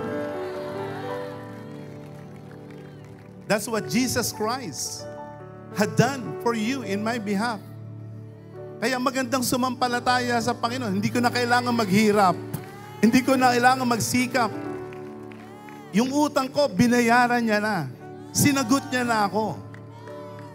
And all we need to do is accept, receive, be baptized from your sins. There was one day in the day of Pentecost, thousands of years ago. Ganito rin ang nangyari. Si Pedro nangaral. Libo-libo ang tumanggap. At tong araw na iyon, sila'y nabautismuhan. Sa gabing ito, sa liwanag ng banal na kasulatan, kung kayo ay magpapabautismo, magpapahugas sa inyong kasalanan, I cannot stress this enough. Hahakbang kayo paalis sa lugar na ito. Matutulog kayo sa gabing ito na kahit kayo mahirap, wala na kayong utang. Ang Diyos ang, magpa, ang nagpatawad at naglinis sa inyong mga kasalanan. And those of you who are watching right now, our live stream, wherever you are watching right now, in your living rooms, or maybe in hotel rooms, or wherever you are watching this live streaming in the houses of worship, I want you to follow this prayer also. Join hundreds and hundreds of people here in Marikina in confessing Jesus as Lord and Savior. So, sa atin na pumarito sa harap na ito, itungo ngayon natin ang ating ulo. Sundin ninyo ang panalangin na ito. You bow your heads. You pray this prayer sincerely in your hearts. Do not mind the person next to you. It's you and God right now at this moment. I want you to pray with me. Repeat after me. Father in heaven, I receive your son Jesus as my Savior, as my Master. I recognize I'm a sinner. I am a debtor. And in my own power, I cannot pay my sins. I cannot pay off my debts. I need Jesus to forgive me of my sins, to cancel my sins. I receive Him now as my Lord and Savior. Thank you for loving me. Thank you for caring for me. Wash me now clean from my sins in baptism. In the name of Jesus, the one who has forgiven me, the one who has canceled my debt. In his name, amen. Amen. Praise the name of the Lord. To God be the glory. What you should do right now is be washed from your sins. We are prepared for you. Kami lamang ang gumagawa nito na we are literally bringing baptismal pool sa mga lugar ng aming krusada. You will have privacy, you will be assisted, and you will be baptized. Huwag kayong mag-aalinlangan. Huwag kayong magdududa. Your friends, your family will help you. And I want also, I'm not yet done. I want also to pray for you. If you are sick, I want to pray for you. Maybe someone you know is sick. Raise your hand right now. You see, Jesus Christ's death at the cross isn't only for our spiritual death, it is also for our sicknesses. As you raise your hand, claim, believe you are receiving the healing, you're receiving the restoration from God. In the name of Jesus, the one who has come from heaven to earth, the one who died for our sins, the one whose body suffered and died, the one preached by the apostle Arsenio T. Ferriol. Receive your healing right now in the name of Jesus. Be healed right now. Be liberated right now. Be transformed right now. Be delivered right now. In the name of Jesus, receive your healing tonight. And everyone say, Amen. Amen. I receive it, Lord. Praise God. You may now proceed to the baptism.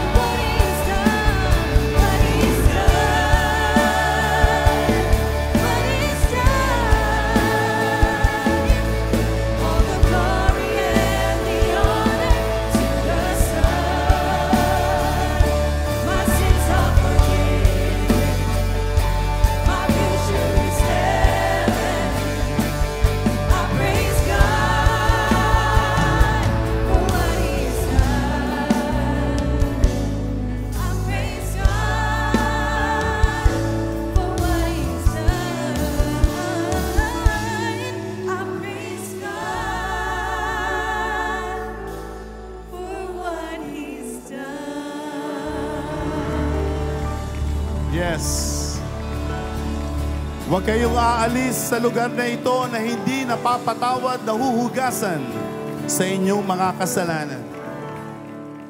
Be washed from your sins. Get baptized. Even those of you who are watching right now this live stream, get baptized. Get baptized. Huwag kayong mag-aalinlangan, huwag kayong matatakot. Kalooban ng Diyos na kayo'y mahugasan sa inyong mga kasalanan. It's easy. It is easy. And if you cannot be baptized tonight, just in case, you can be baptized tonight. You can be baptized on Sunday, Resurrection Sunday. But don't you doubt God's will for you. Be baptized. Once again, God bless you all. Huwag kayong aalis at inyong subaybayan ang pinakamagandang senakulo sa buong Metro Manila and appreciate the Lord's work. Ang ating senakulo ay mangyayari sa ilang sandali. Even while we are baptizing, go ahead, keep going, keep going. You should be ready for the senakulo. Pagpalain kayo ng Panginoon.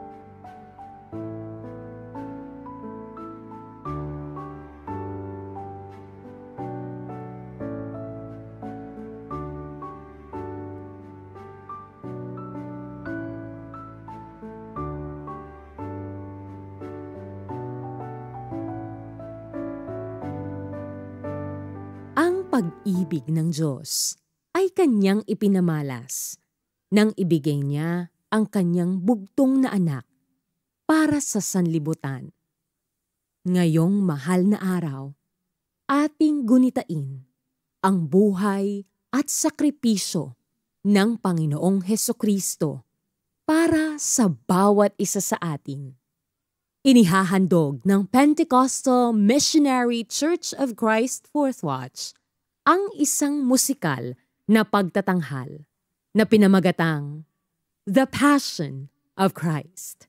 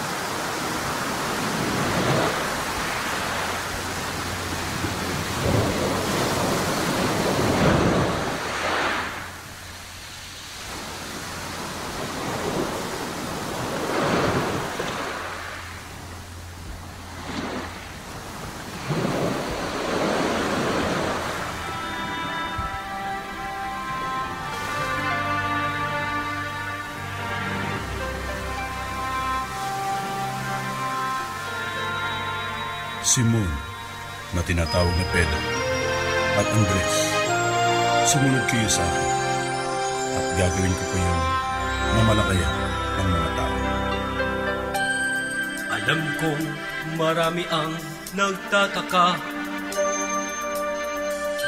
kung paano namin nagawa.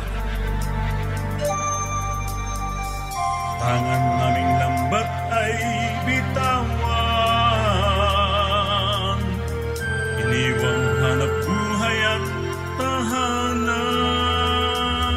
Santiago at Juan Siyang tumawag sa amin na di matanggihan Dulot ay pag-asa at kapanatagan. Mga anak ni Zebedee, sumunod kayo sa akin. Iwala sa kanya'y aming nadama Nang kami sumunod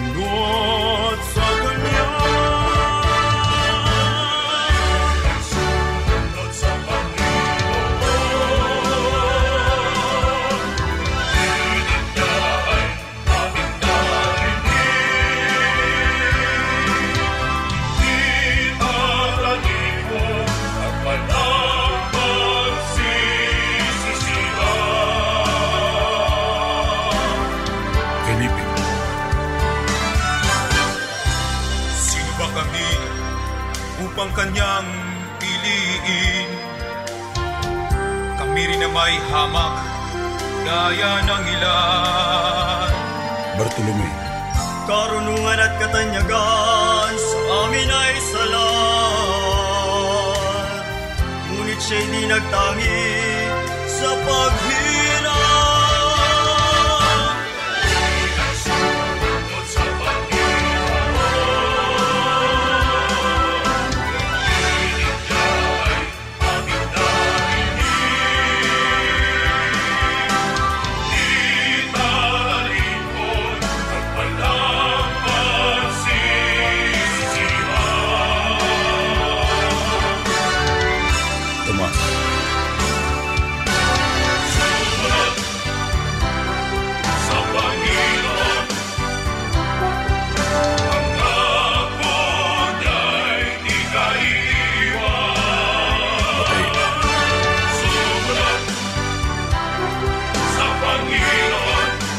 Ni Alfeo, Hindi na kami mag-aalinlangan. Tadeo.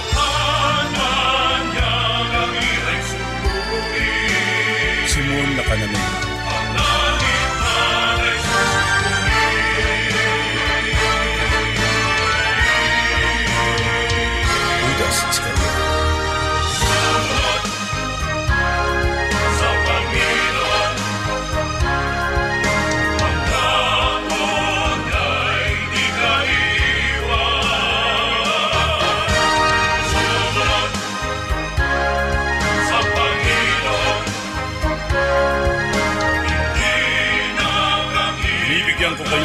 kayo ng karapatang magpagaling ng mga may. Magpalayas ng masasamang espiritu. Kayo ay sinusugo ko, gaya ng kordero sa gitna ng mga lobo, upang magsilbing liwanag sa gitna ng mga tao.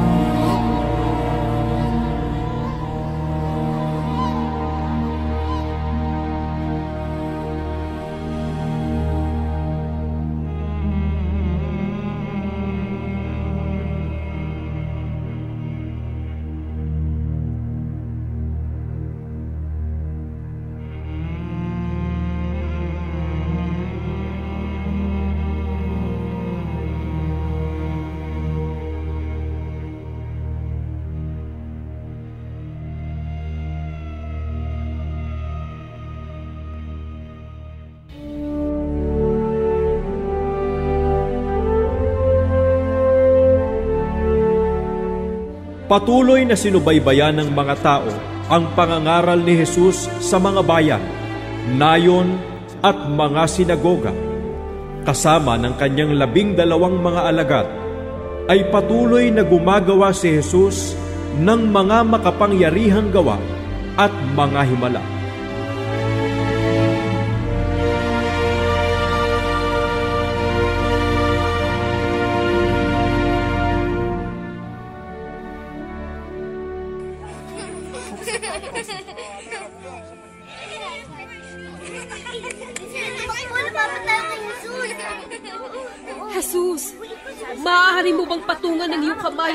Ipanalangin ang mga batang ito? Bakit andito ang mga batang yan? Hindi sila pwedeng lumapit dito. Jesus! Jesus!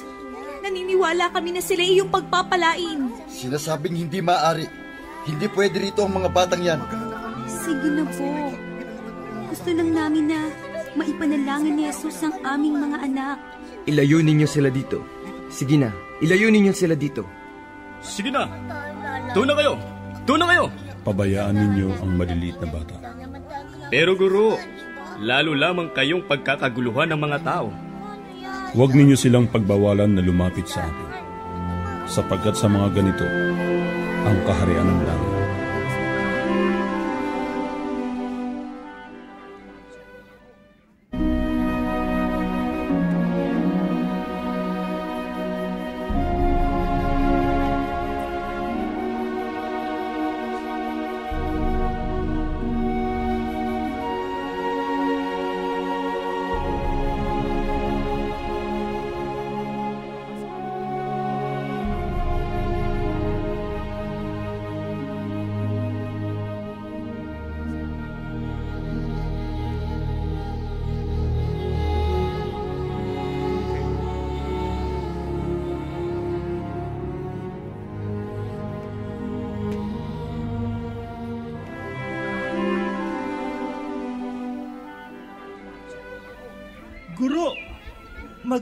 Magtatakip silim na pero hindi pa rin umalis ang mga tao. Panginoon, ilang ang dakong ito at lampas na sa oras. Palisin mo na ang napakaraming mga tao upang sila'y magsiparoon sa mga nayon at lang sila'y makabili ng kanilang makakain. Hindi na kailangan na sila ay umalis. Guro, mayroon lamang po tayo ditong limang tinapay at dalawang isda. Dalhin ninyo sa akin ang mga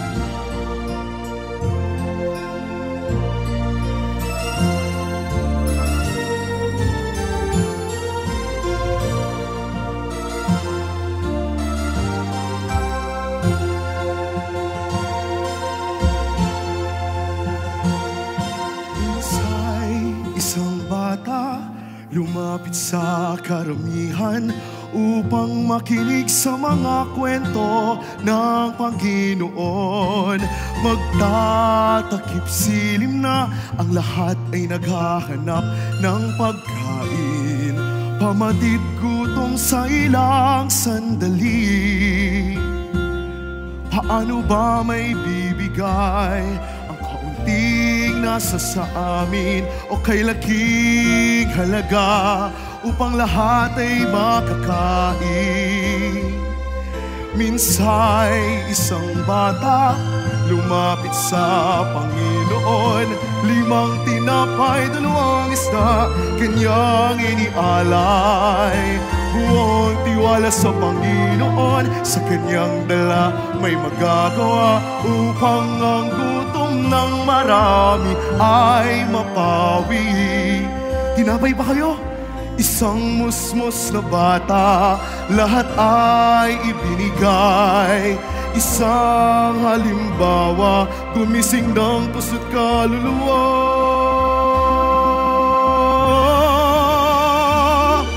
Minsay, isang bata, pagdamay niya ay hayag. Limang tinapay, dalawang isda, kanyang inialay.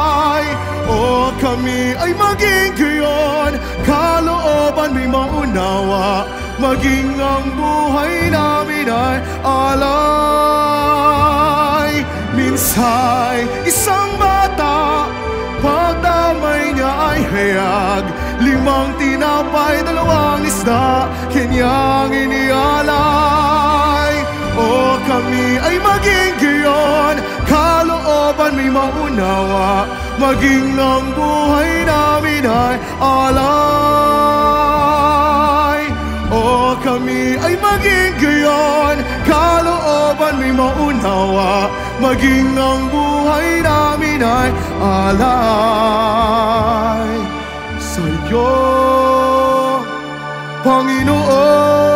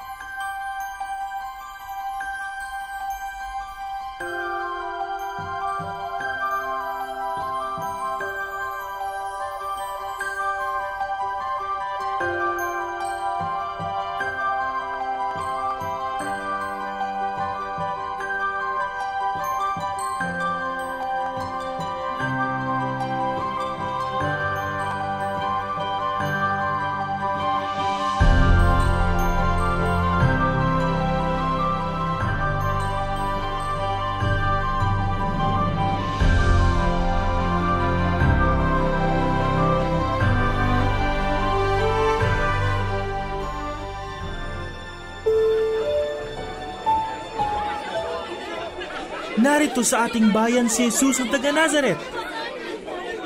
Si Jesus na taga Nazaret? Nasaan siya? Jesus na taga Nazaret! Anak ni David! Maawa po kayo sa akin! Jesus! Jesus! Anak ni David! Mahabag po kayo sa akin! Mahabag po kayo sa akin! Tawagin niyo siya. Laksan mo ang iyong loob. Tumindig ka at pinapatawag ka ng Panginoon. Ano ang ibig mong gawin ko sa iyo? Ako po si Bartimeo. Mula pa sa pagkabatay, bulag ako. Panginoon, nais ko pong makakita. Mangyayari ang ayon sa nais mo, sapagkat pinagaling ka ng iyong pananampalataya.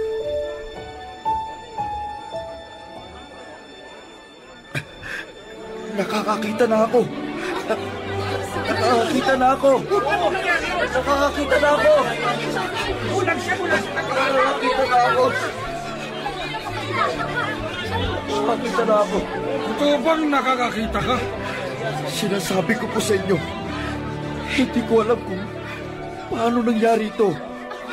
Basta't naramdaman ko lang po na hindi po ni Jesus ang aking mga mata. At ngayon, nakakakita na ako. Totoo bang nakakakita ka? Isa lamang itong palabas. Hindi. Hindi sapagkat totoong pinagaling ako ni Jesus dahil nanampalataya ako sa Kanya. Tunay na siya'y sugong mula sa Diyos. Kayo po bang humipo ng aking mga mata? Sabihin po ninyo sa akin. Ano ka naman? Ako nga.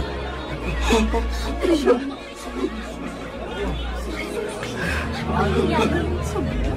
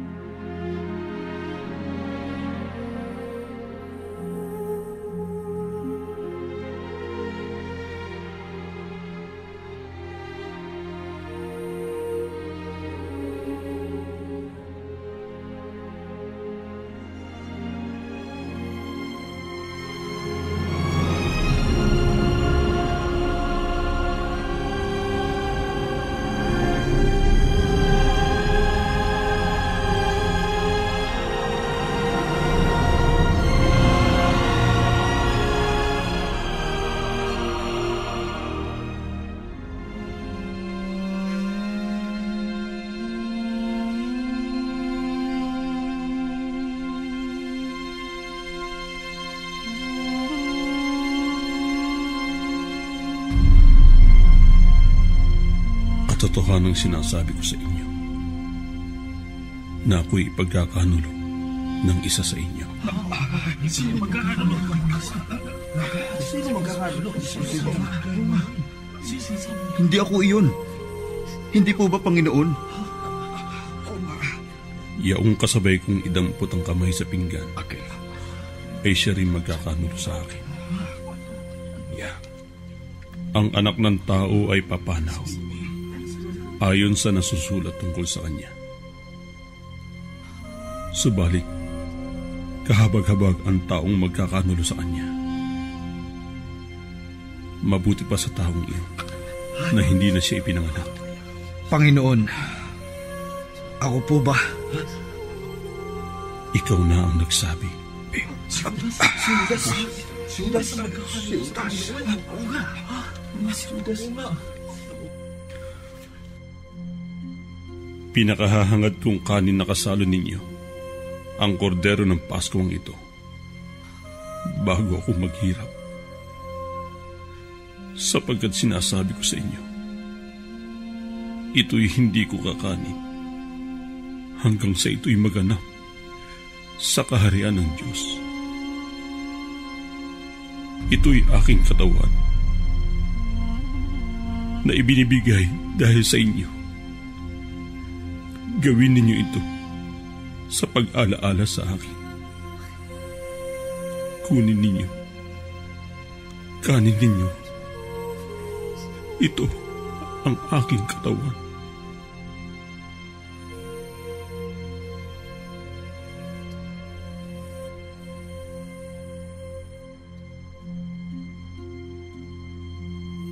Magsiinom kayong lahat dyan sapagkat ito ang aking dugo ng tipan na nabubuhos dahil sa marami sa ikapagpapatawad ng mga kasalanan.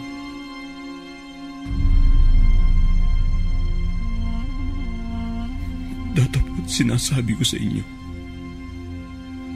na buhat ngayon ay hindi na ako iinom nitong bunga ng ubas hanggang sa araw na yun na inumin kong panibago na mga kasalo ko kayo sa kaharian ng aking ama.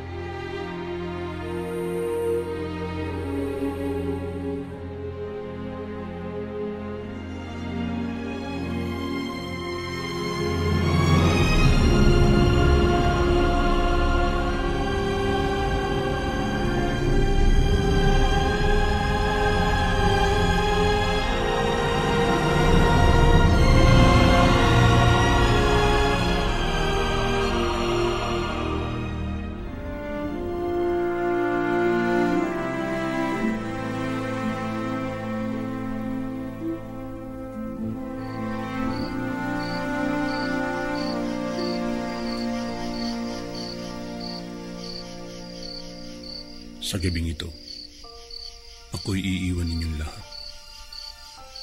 Gaya ng sinasabi sa kasulatan, papatayin ko ang pastol at mga ngalat ang mga tulpa. Panginoon, kahit kayo ay iwan ng lahat, hindi ko po kayo iiwan. O iwan kayo ng lahat, hindi ko kayo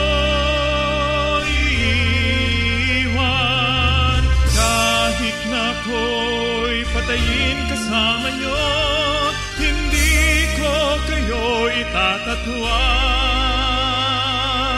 Buhay ko may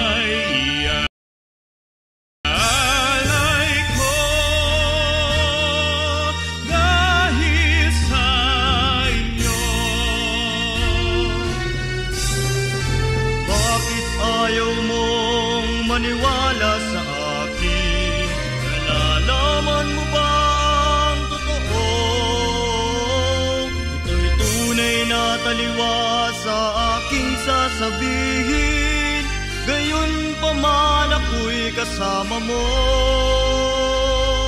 Hanggang ngayon'y hirap akong unawain. Talinhaga mong loobin.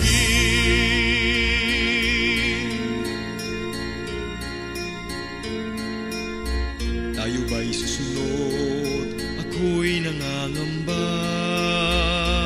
Napatahimik niyang unos sa ngayon ako ay natatakot.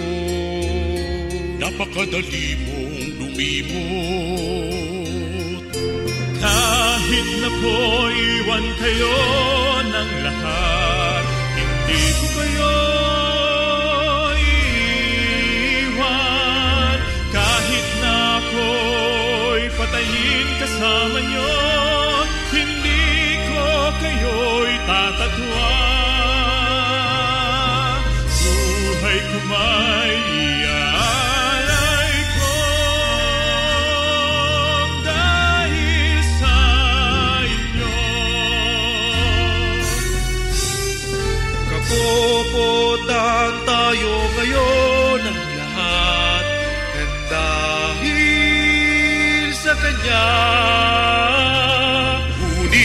mananatiling tapat hanggang wakas, pangako niya'y maliligtas. Buhay ko may iaalay ko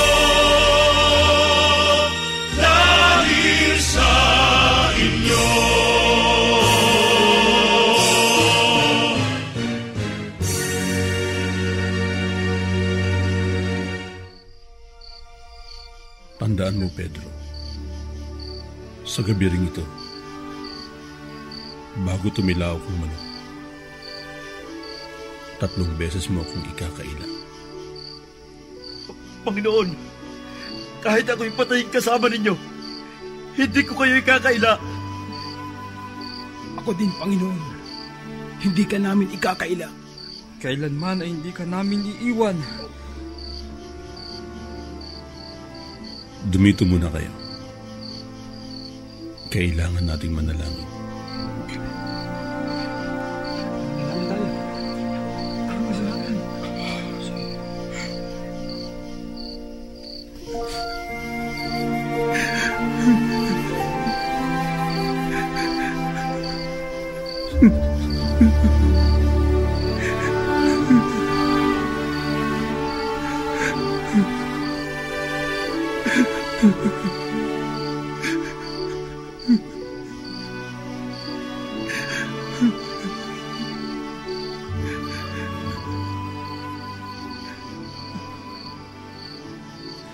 Magsigising kayo. Hindi pa kayo maaaring makipagpuyat sa akin kahit isang oras. Magsipanalangin kayo upang hindi kayo magsipasok sa tukso. Panginoon, dapat na po tayong umalis dito. Mapanganib sa lugar na ito. Paano, Panginoon, kung makita nila tayo? Batid niyo pong nais ka nilang patayin. Hindi pa ngayon. Magsipanatili kayo rito at magsipanalangin upang huwag kayong manganlupaypay.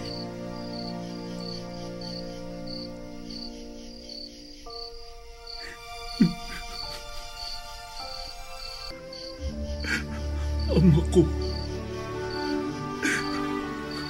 kumbaga maaari,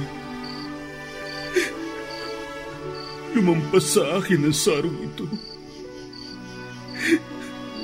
Gayon ba'y huwag ang ayon sa aking ibig, kundi ang ayon sa ibig mo.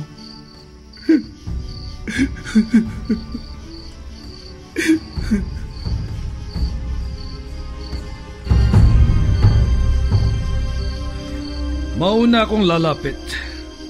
Ang taong aking hahagkan at hahalikan sa pisngi. Siya, si Jesus. Mga kawal! May dumarating ng mga kawal! At kasama si Judas! Judas! Si Judas yan!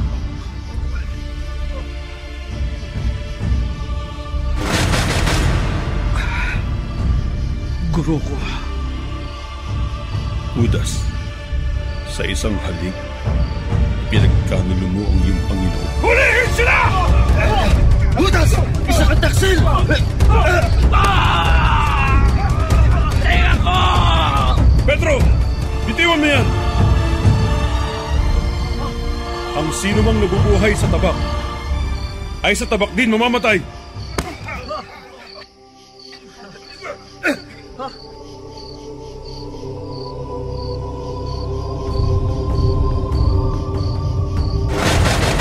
Hulihin sila!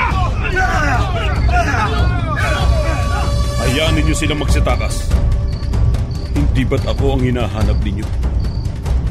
Araw-araw ay nakikita ninyo akong nangangaral sa templo. Ngunit hindi ninyo ako hinuhuli. Bakit ngayon? Dinarakip ninyo akong gaya ng isang tulisan.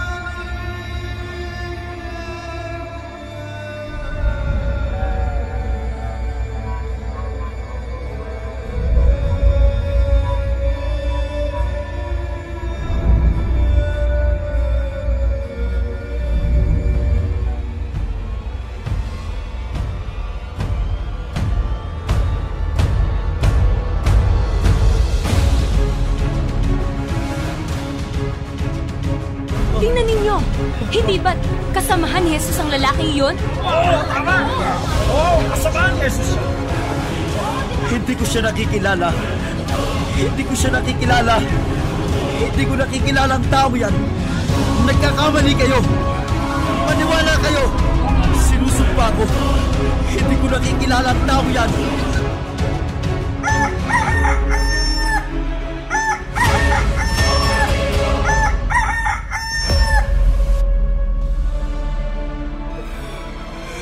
Pinagkaila mo ang aking Panginoon.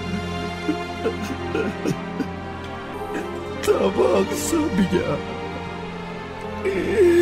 Ipinagkaila ko ang Panginoon.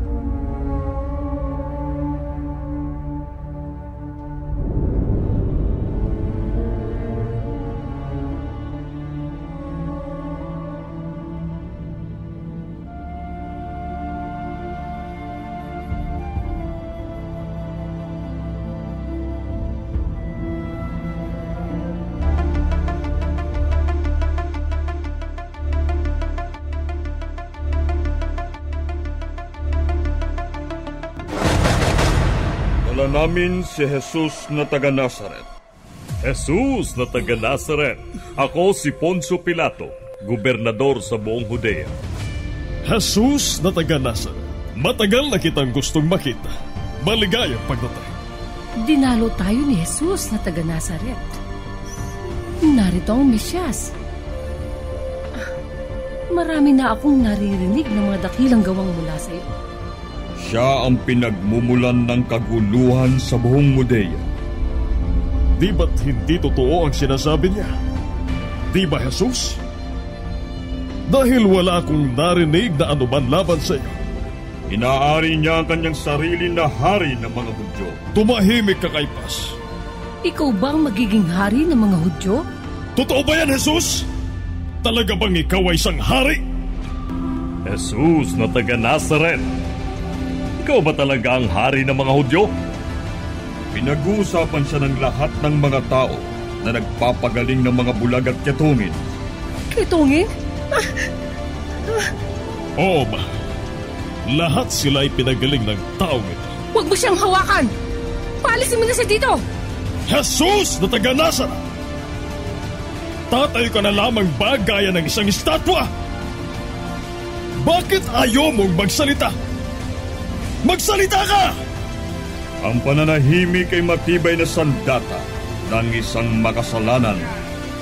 Wala siyang kasalanan dahil siya'y wala sa tamang pag-iisip. Baliw ang taong yan! Kabahalan!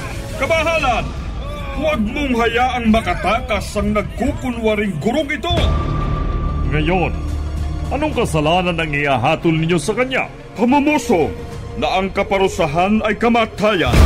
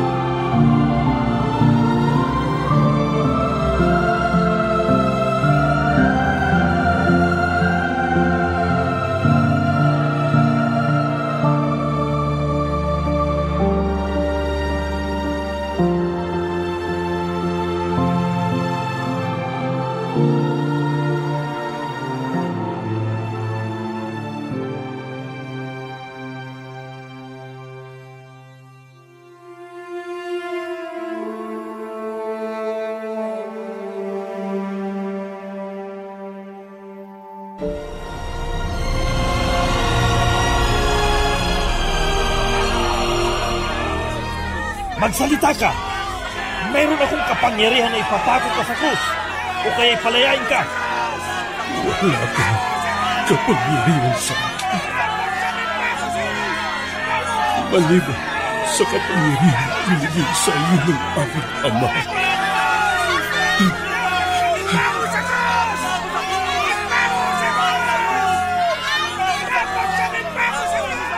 Hinuhugasan ko ang aking kamay. Tanda na wala akong pananagutan sa taong ito. Kayo ang may gusto na ipako sa sa krus. Hindi ako! Ipako si Jesus sa krus!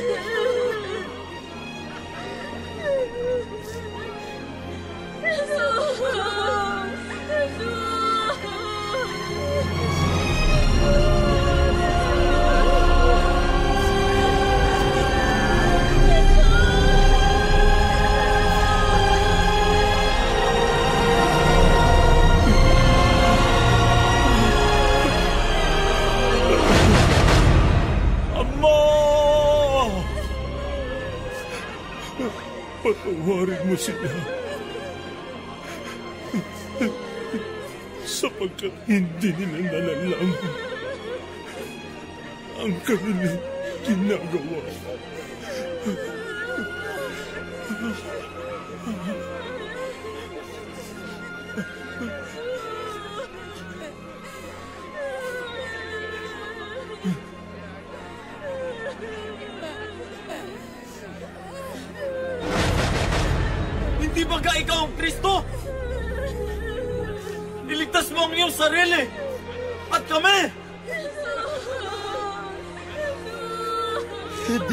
Natatakot?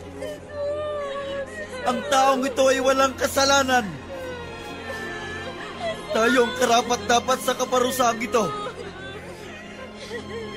Jesus, isa lamang ang hinihiling ko. Alalahanin mo ako. Pagdating mo sa iyong kaharian,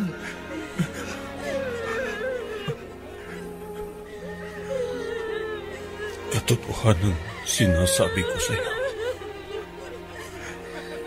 Ngayon din ay kakasamahin kita sa paraiso. Sabi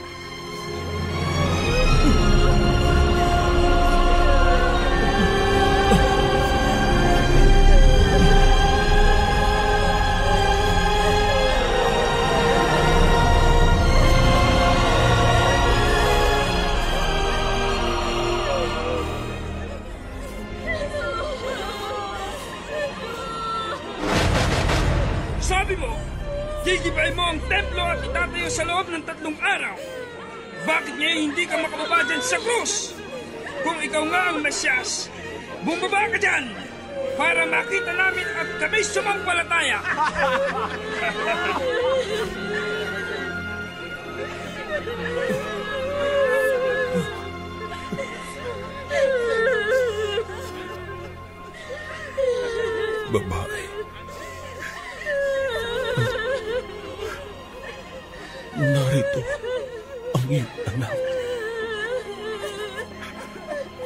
Anak.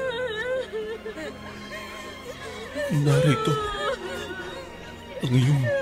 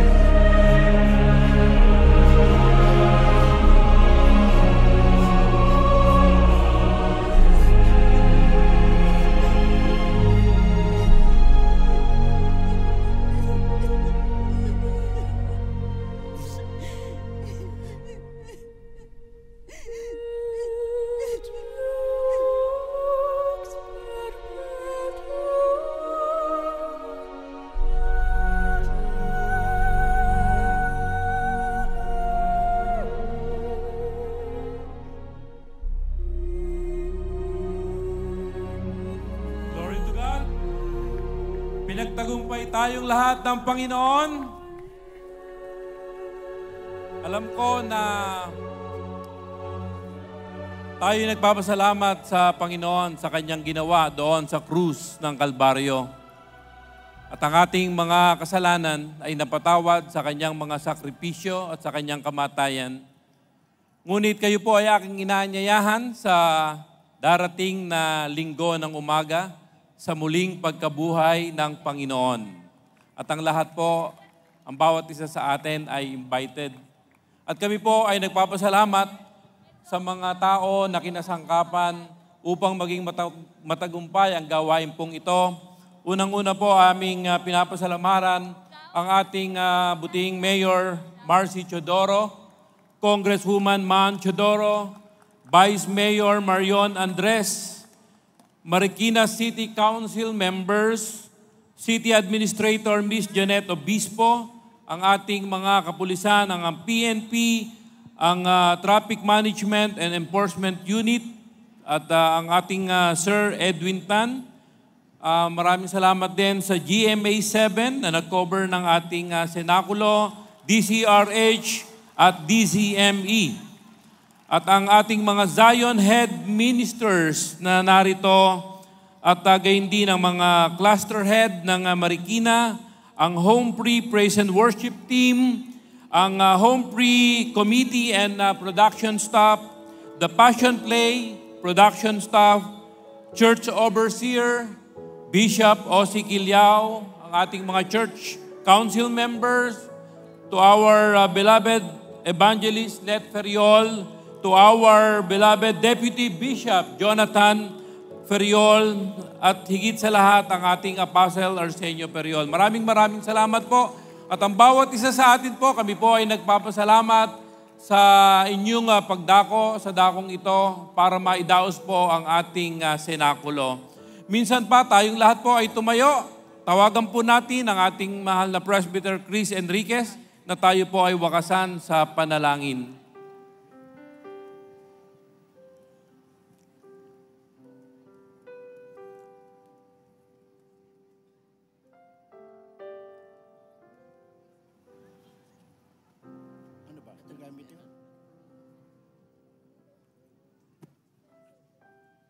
Tayo po ay manalangin. O Diyos, na makapangyarihan sa lahat, nagpapasalamat po kami sapagkat minahal mo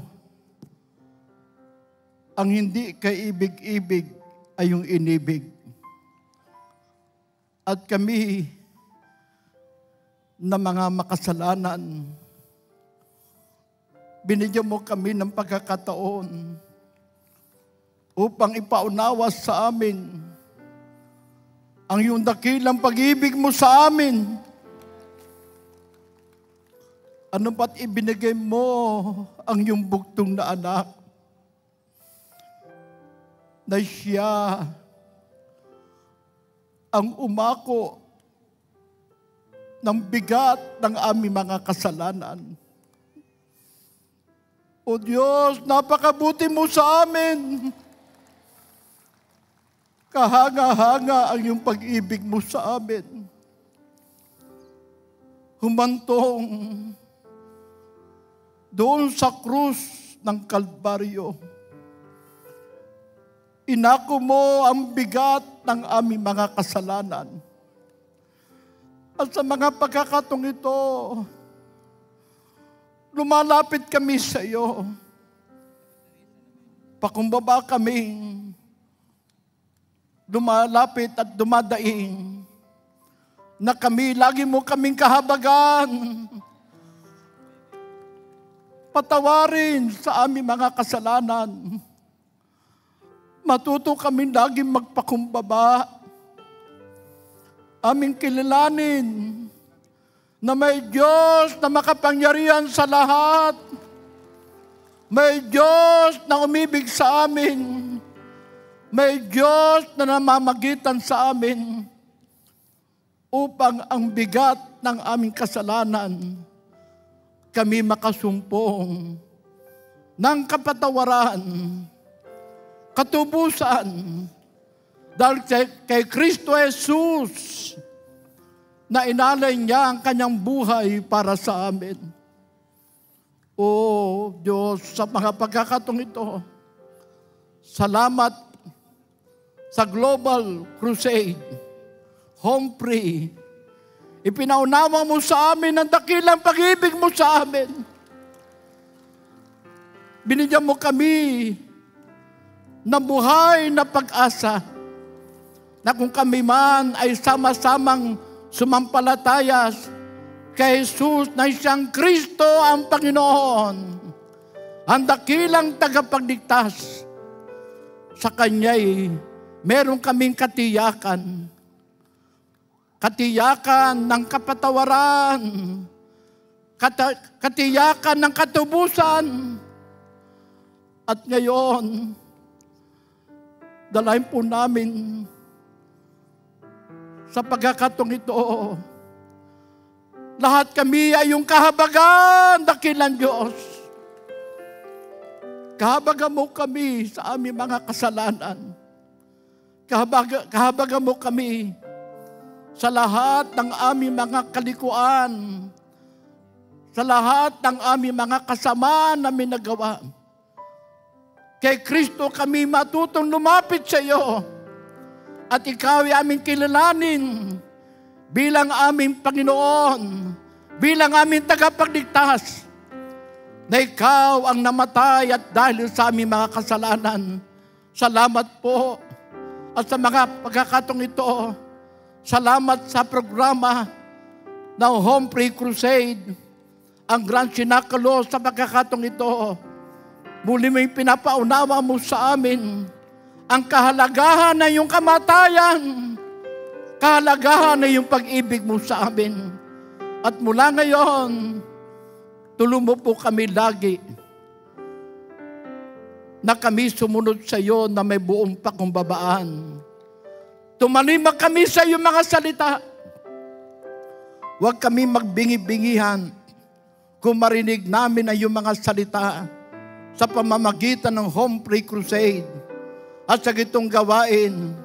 Sama-sama kaming lumalapit sa iyo. Tulong mo kami lagi makalakad sa iyong kalooban. Salamat po, Ama, sa pangalan ni Kristo Jesus. Pagpalain mo ang bawat isa sa amin ngayon sa gabing ito. Pagpalain mo ang iyong mga anak, ang mga tumalim at sumunod sa iyong mga salita. Maranasan nila ang dakilang pag-ibig, ang dakilang pagliligtas sa pamamagitan ng iyong banal na Espiritu. Salamat po sa pangalan ni Jesus. Ito pong aming dalangin. Sa pangalan ni Jesus, Amen and Amen.